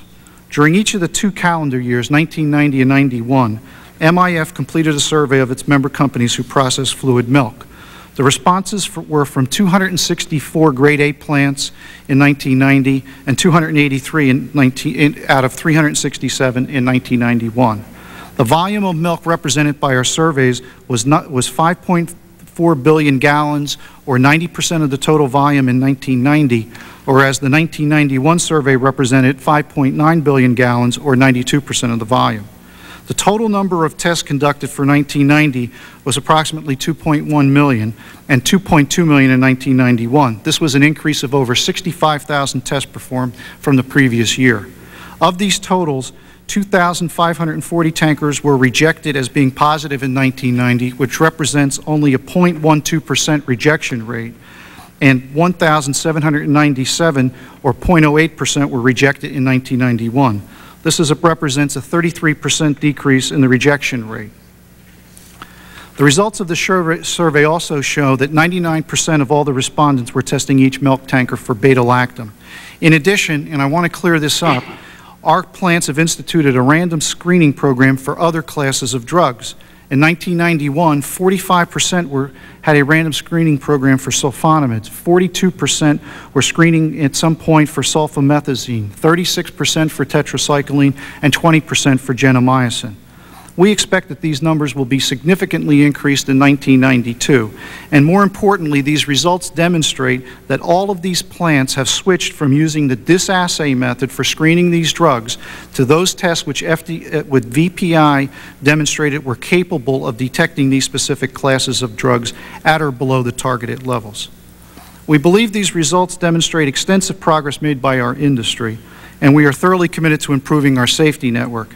However, we can't do it alone. We need the full cooperation of the states and FDA. In that sense, we, we offer the following recommendations. These recommendations are not criticisms of FDA, but should be reflected to review a constructive outline um, to develop the partnership that Congressman Gunderson talked about this morning. One, we believe FDA should refocus their present efforts solely on developing costly and regulatory methods such as HPLC and utilize their resources to assist the industry and states in evaluating the screening tests that are economical, accurate, and practical for use in a national monitoring program. Two, FDA should refocus their present monitoring and sampling network using HPLC and utilize these effective screening methods. We believe this would facilitate uh, FDA to increase the number of samples taken and would assure the statistical relevance of their sampling program. Three, FDA should institute tighter controls for the use of drugs in food-producing animals and provide incentives for the approval of additional drugs for lactating dairy cows. And four, as an overall strategy, FDA should assist the states and the industry in establishing a national quality assurance program on the farm, shifting their focus from isolated detection to prevention. In closing, Mr. Chairman, we want to again thank you for allowing us to report our progress because of your challenge two years ago, the dairy industry network has been greatly enhanced. We believe we have the safest milk supply in the world, and we believe our information presented today uh, constitutes the, um, uh, the integrity of, of, of those results. We thank you. Senator Melcher, as always, it's a pleasure to welcome you back here, and uh, we're prepared for your testimony. Thank you very much, Mr. Chairman. And let's see, is this thing on? Yeah, perhaps close, closer to you, though. Thank you very much, Mr. Chairman and members of the uh, subcommittee. I appreciate this opportunity to participate in this hearing. I didn't know it was going to be all day long, though. Um, I'm proud to be a part of the hearing and appear as a representative of my profession, my chosen profession, veterinary medicine. I'm also pleased as a, to be here and testifying as a former congressional colleague. Today I'm representing the American Veterinary Medical Association and its more than 52,000 member veterinarians. Accompanying me today is Dr. Christine Kamen to my left here, who is a graduate of the College of Veterinary Medicine at Cornell and who is a food animal veterinarian primarily involved in dairy practice in uh, her state, your state, Mr. Chairman, too, New York State. I, um, I believe that General Accounting Office reports are sometimes, not always, but sometimes are revealing and helpful for Congress and the entire country. But the jury's still out on this report. I was very surprised, Mr. Chairman, to hear of the subcommittee's practice, and I gather the, all of the subcommittees of this committee, of calling a hearing on a GAO report without anyone being able to see the report. Now, I believe that myself and the rest of the people who have testified here today have something to offer that is helpful. But if we're going to address the General Accounting Office, and if there's report, and if there's some significance to that report, then we certainly ought to be addressing specific parts of that report. Well, that's impossible. Now, I was here in the House uh, from 1969 through 1976, and then in the Senate following that until 1988. And I used the General Accounting Office myself and found their reports sometimes good and sometimes indifferent and misleading. Uh, you, don't, you know, you, sometimes you wonder whether you're flipping a coin on what you're going to get out of it. But I hope this report has some value. But as I sat here today and listened, if the thrust of this report is to be highlighted by some 80 or 64 drugs in that list that I just glanced at, I don't think there's much to that report. If that's a highlight of that report, I just don't think there's much substance to it. The question of drugs appearing in milk or meat or anything we eat is, first of all, is it harmful? Will it, first of all, will it leave a residue? And secondly, is it harmful? And that's what has to be sorted out of that laundry list of drugs. I, I am practiced veterinary medicine now uh, since I first came here. That's 69, what is that, 23 years ago? Some of the drugs that I used to use, I now learn are completely banned. And if they're completely banned, then the proposition is, who's going to enforce the ban? I would agree that FDA has a big role in that. But if somebody is using an illegal drug in the food supply, that's not the only enforcer. There's state law in almost every state. There is also ordinance in many cities and municipalities. And a question of a criminal action is involved.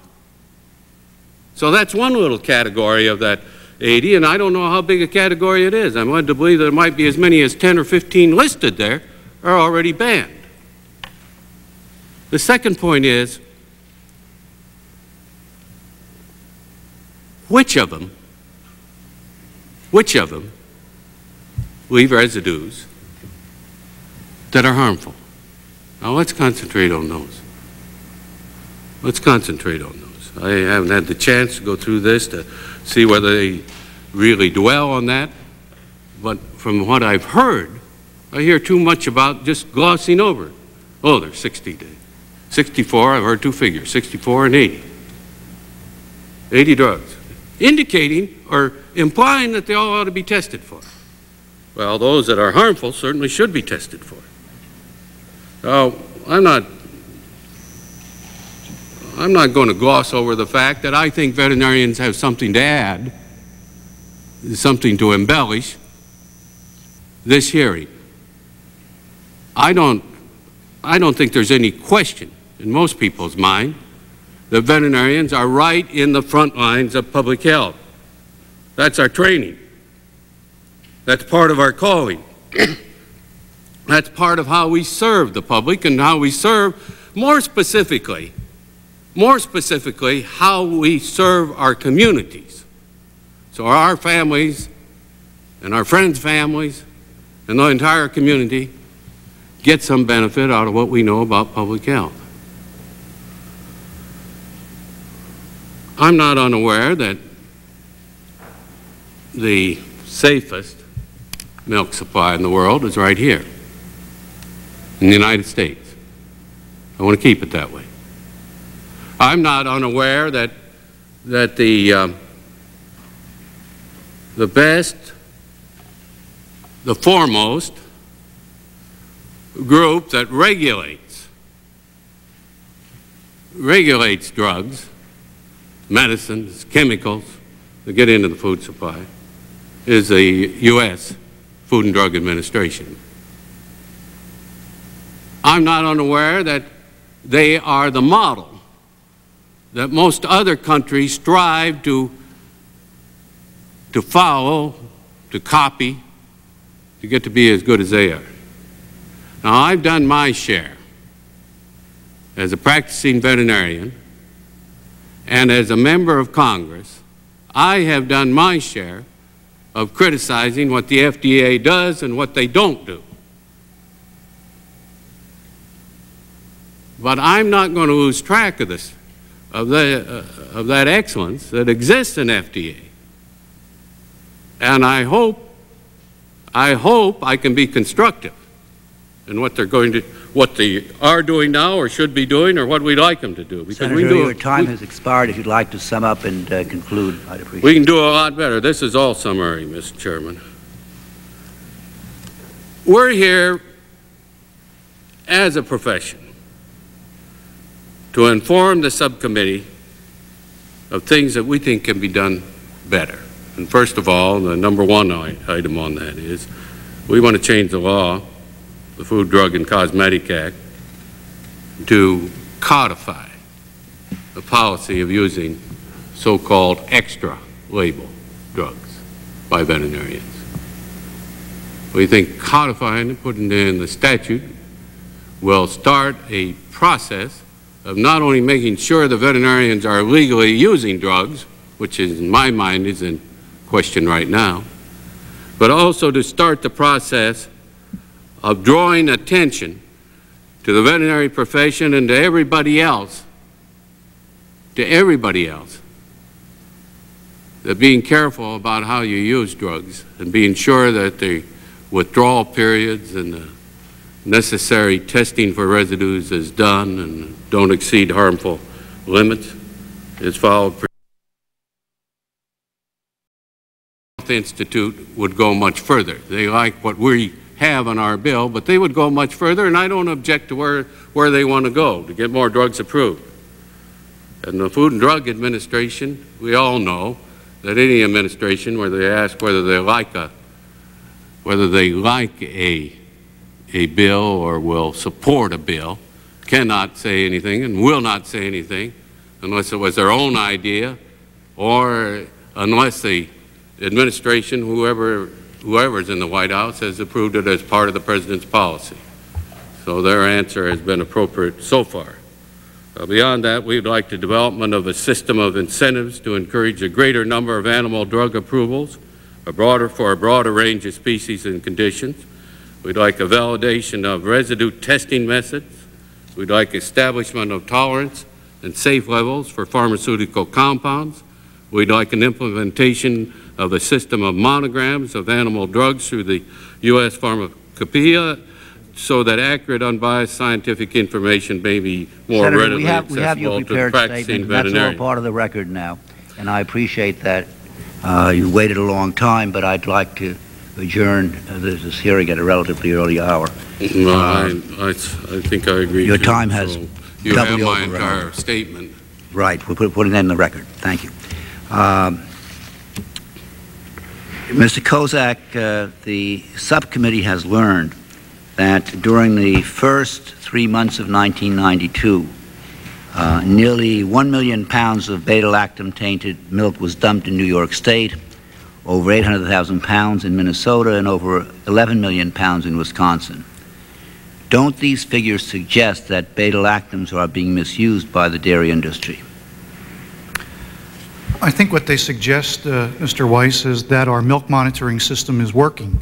Um, We want to point out that those rejections mean that that milk never reached the shelf, and that the whole purpose of the program is to cause that rejection before it enters the milk processing plant.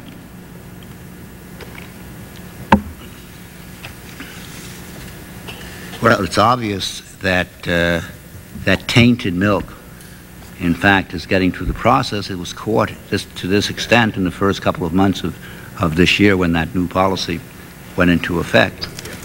Um, Mr. Kozak, as you know, FDA permits both food-producing animals and non-food producing animals to receive drugs on, a, on an extra label basis. Similarly, the legislation supported by the veterinarians group would legalize the practice for food and non-food producing animals.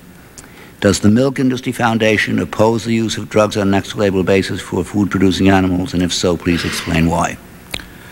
We think that it would be certainly prudent to take a look at uh, the differences between the use of extra label drugs on food producing animals versus uh, extra label drugs on, for instance, pets.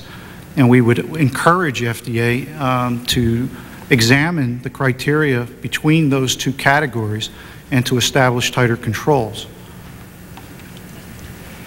Senator Melcher, on May 8, 1992, the Animal Health Institute, which represents the animal drug companies, wrote your organization to say it would not support the extra label drug use legislation that your group was trying to get introduced in the House and the Senate. the Animal Health Institute described the bill as, quote, narrow and counterproductive. Do you know what the basis is for their opposition to your bills? To your bill? Well, I've sat in meetings with the representatives of the Animal Health Institute, and they always say, well, yeah, good idea, uh, but it doesn't go far enough. So I think what they're interested in is including incentives for more, uh, well, for including incentives, incentives for their members, drug companies, uh, to uh, produce and seek more approvals. Now, um, I don't know if they got a, a concrete proposal ready on that, but whenever they do, I'd like to see it. We'd like to see more, uh, uh, more uh, drugs produced and approval and incentives that would lead to that. According to a May 26, 1992 FDA memorandum, uh, Center for Veterinary Medicine Director Guest was asked his views on your legislation. The memorandum states, quote, that he does not think that FDA should actively support this bill, that this particular bill falls short of achieving a solution to the problem. That industry has said that it can't support the present bill. Close quote.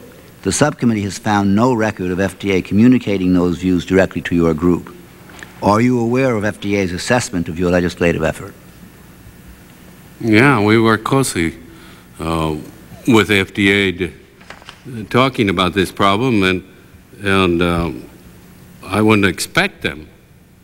I wouldn't expect any federal agency to say, "Yeah, we'll work actively uh, to pass your bill," unless it was part of the president's program. I've never known an administration that uh, gets out of line on that one. The usual question from all the authorizing committees has always been.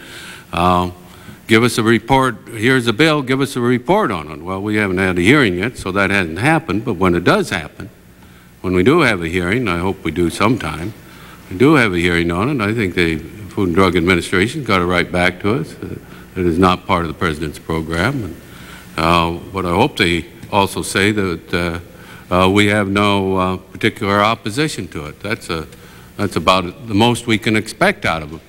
Uh, this is a pretty low on on everybody's priority list. Not that I agree, it ought to be higher. I think public health ought to be about as high as any priority, but it's pretty much low on any administration's uh, priority list. And if we're a Democrat president sitting down there in the White House, I, I don't expect, uh, unless we're lucky and have done a lot of extra work with the White House, we get a pronouncement that says, yes, by all means, we're in favor of the bill. That's, the, as you know, uh, Mr. Chairman, those, uh, those types of endorsements are uh, hard to get. Mr. Payne? Yes, uh, Mr. Kozar, you mentioned uh, several years ago when this a similar hearing to this was held, and you indicate there was a lot of negative press uh, generated regarding the uh, quality of, uh, of milk. Uh, what um, the, what impact did that have on the industry? You found, did you find that there was a, uh, a drop off of of your of the business overall? Did it have a very negative effect, or less people using drinking milk now than before because of this negative uh, press you said were generated at the last hearing of this committee? We didn't notice any sales drop-off, Mr. Payne, but uh, uh, we did, uh, we did encounter quite a bit of inquiries. Uh, What we did was turn that type of um, uh, reaction into explaining what our milk monitoring system is. We got the facts out. In addition, we stood firm in our conviction that what we were doing was on the right track, um, and instead of worrying too much about what the negative publicity was, we we funded the research to do the kinds of things that this subcommittee asked us to do, and uh, um, our, our, um, I think our track record over the last two years has been an excellent one, and I think that the media has recognized that the dairy industry is striving forward to, uh, to do that. And uh, as a result, there, uh, understand there are some new processes that uh, have been uh, implemented, and, and as you indicated earlier, when the chairman mentioned about the amount of of um, tainted milk that had to be uh, destroyed, uh, disposed of. Uh, you indicated that that's right. It shows that you're doing a better job and you've imposed uh, different standards that therefore make things more accurate, correct? Yes, as a matter of fact, one of the things that we want to clear up is that all of the, we have uh, information that we are not just rejecting milk uh, for beta-lactams, that our random screening programs indicate that we are rejecting milk tankers for tetracyclines, uh, residues for sulfonamides, and so we're convinced that the safety network that we've established is catching those drugs that are of most importance, and it is not reaching the shelf. And therefore, I guess you could conclude then the initial tenor of your of your remarks uh, indicated somewhat of a frustration or a disturbance about the negative press generated, but I guess you could conclude then that evidently the hearing served a very useful purpose.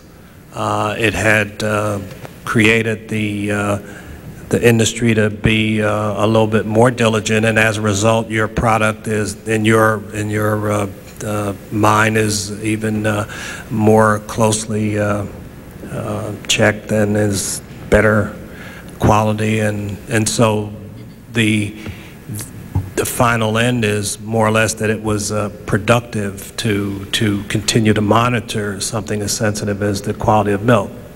Well, as, as, as I think you're aware, uh, milk is one of the most emotional products that we produce in our country, and the milk industry has to be ever vigilant um, and go beyond any other product because the consumer expects much more out of the safety of our milk. And of course, our industry is committed to ensuring that that happens. Mm -hmm. Right. Well, that, that's just the point I was trying to get out. And, uh, you know, we're, we're, very concerned, too, because it is, it is a, a uh, product that uh, the um, that this nation has the pride of having the best, and uh, it's a very important commodity in, in, in, areas and a very useful and, and necessary item. And once the uh, confidence is shattered, uh, I, I, think then they we're doing a disservice not only to the health of the country but to a very important industry. And um, uh, so I, I, would just like to, uh, I guess, um, uh, indicate that I suppose we need to, because of the nature of milk and the sensitivity, continue to to monitor, try to come up with new ideas, to try to uh, find out uh, what uh, which of these uh, drugs, as the senator said, uh, they're not all bad, they're not all good, but maybe what we're saying is that the FDA ought to come up with some with some tests of those that they haven't been dealing with so that we can have a clear as clear picture of all of them if possible, as we have of the four or the 12 that they do uh, regularly test. Uh, that's all. I'll yield back the uh, balance of my time. Thank you.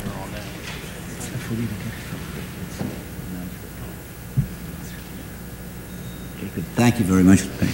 Uh, Dr. Chamey, we haven't called on you because I assume that you were there with Senator Melcher and uh, that if you had something to say that uh, you would feel free to do so, or Senator Melcher would ask you to do so. So it's up to you. I came today to the hearings as a representative veterinarian from New York State, and I think I do fairly represent, it, represent the dairy veterinarians in rural practice, the people who treat dairy cows on a daily basis. One common thread that I have heard in listening to all the testimony today, that presented by people representing the legislature the GAO, the FDA, milk industry, and my colleague, Dr. Melcher, is this. We must work on this together. Milk quality is of extreme importance to all of us. It is a high priority, but the key to maintaining it in its utmost purity is a spirit of cooperation amongst all parties. There's no one here who's more concerned about milk quality than I am as a veterinarian or than my clients are as dairy farmers. And we all want to make this a cooperative effort. The AVMA has a couple of suggestions to help improve things a little bit. We're, we're very encouraged by Congressman Stenholm's bill that would legalize extra label drug usage for us because use of those drugs is vital to ensuring the safety of our milk supply. There will never be a drug approved for every possible use, for every possible species. We need to have that bill passed. That's important to the safety of our milk supply. But once again, I must stress that this is going to require cooperation from all quarters, and I think it behooves the legislature to do everything in their power to encourage and foster that sense of cooperation among all parties. Well, I Thank thank, you. you. very much, and uh, I appreciate uh, your comments. The uh, sad fact is that uh, we've all, or most of us, have been trying to get the FDA to move more quickly and more urgently in this area. Uh, by any standard, uh, the pace at which they have moved has been abominably slow. And I just don't think that it, it's really acceptable. I should say, and, and this is not unique to the Trade Association of the American uh, uh, Veterinary Medical Association. Uh, most trade associations, uh, while the individual practitioners, I think, have idealism running through their veins, the trade associations, by and large, don't. And uh, their, their aim normally goes beyond idealism. And the unhappy fact is that uh, it seems to me that the AVMA is, seems to be much more concerned with the well-being of uh, the veterinarian rather than the well-being of the consuming public.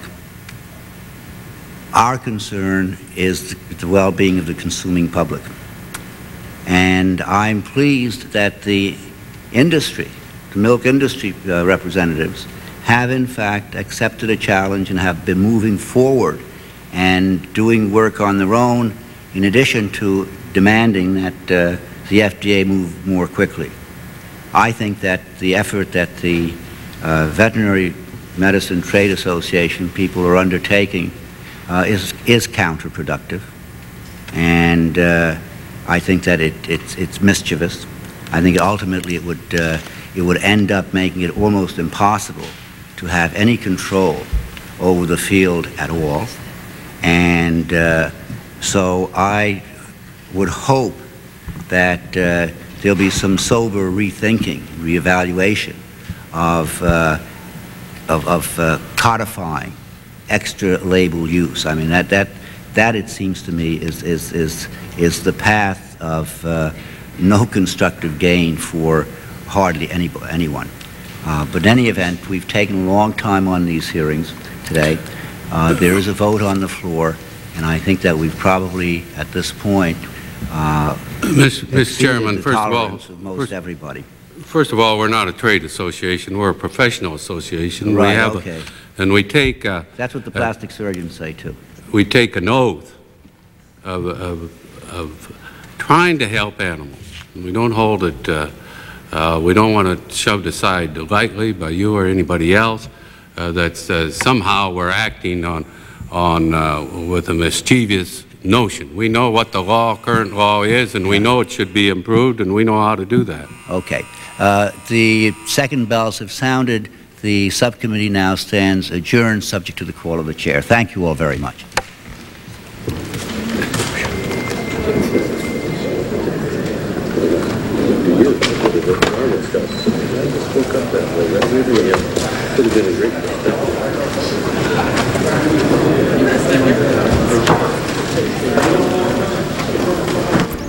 Send your questions or comments about this hearing to the House Government Operations Subcommittee at B372 Rayburn House Office Building, Washington, D.C. 20515.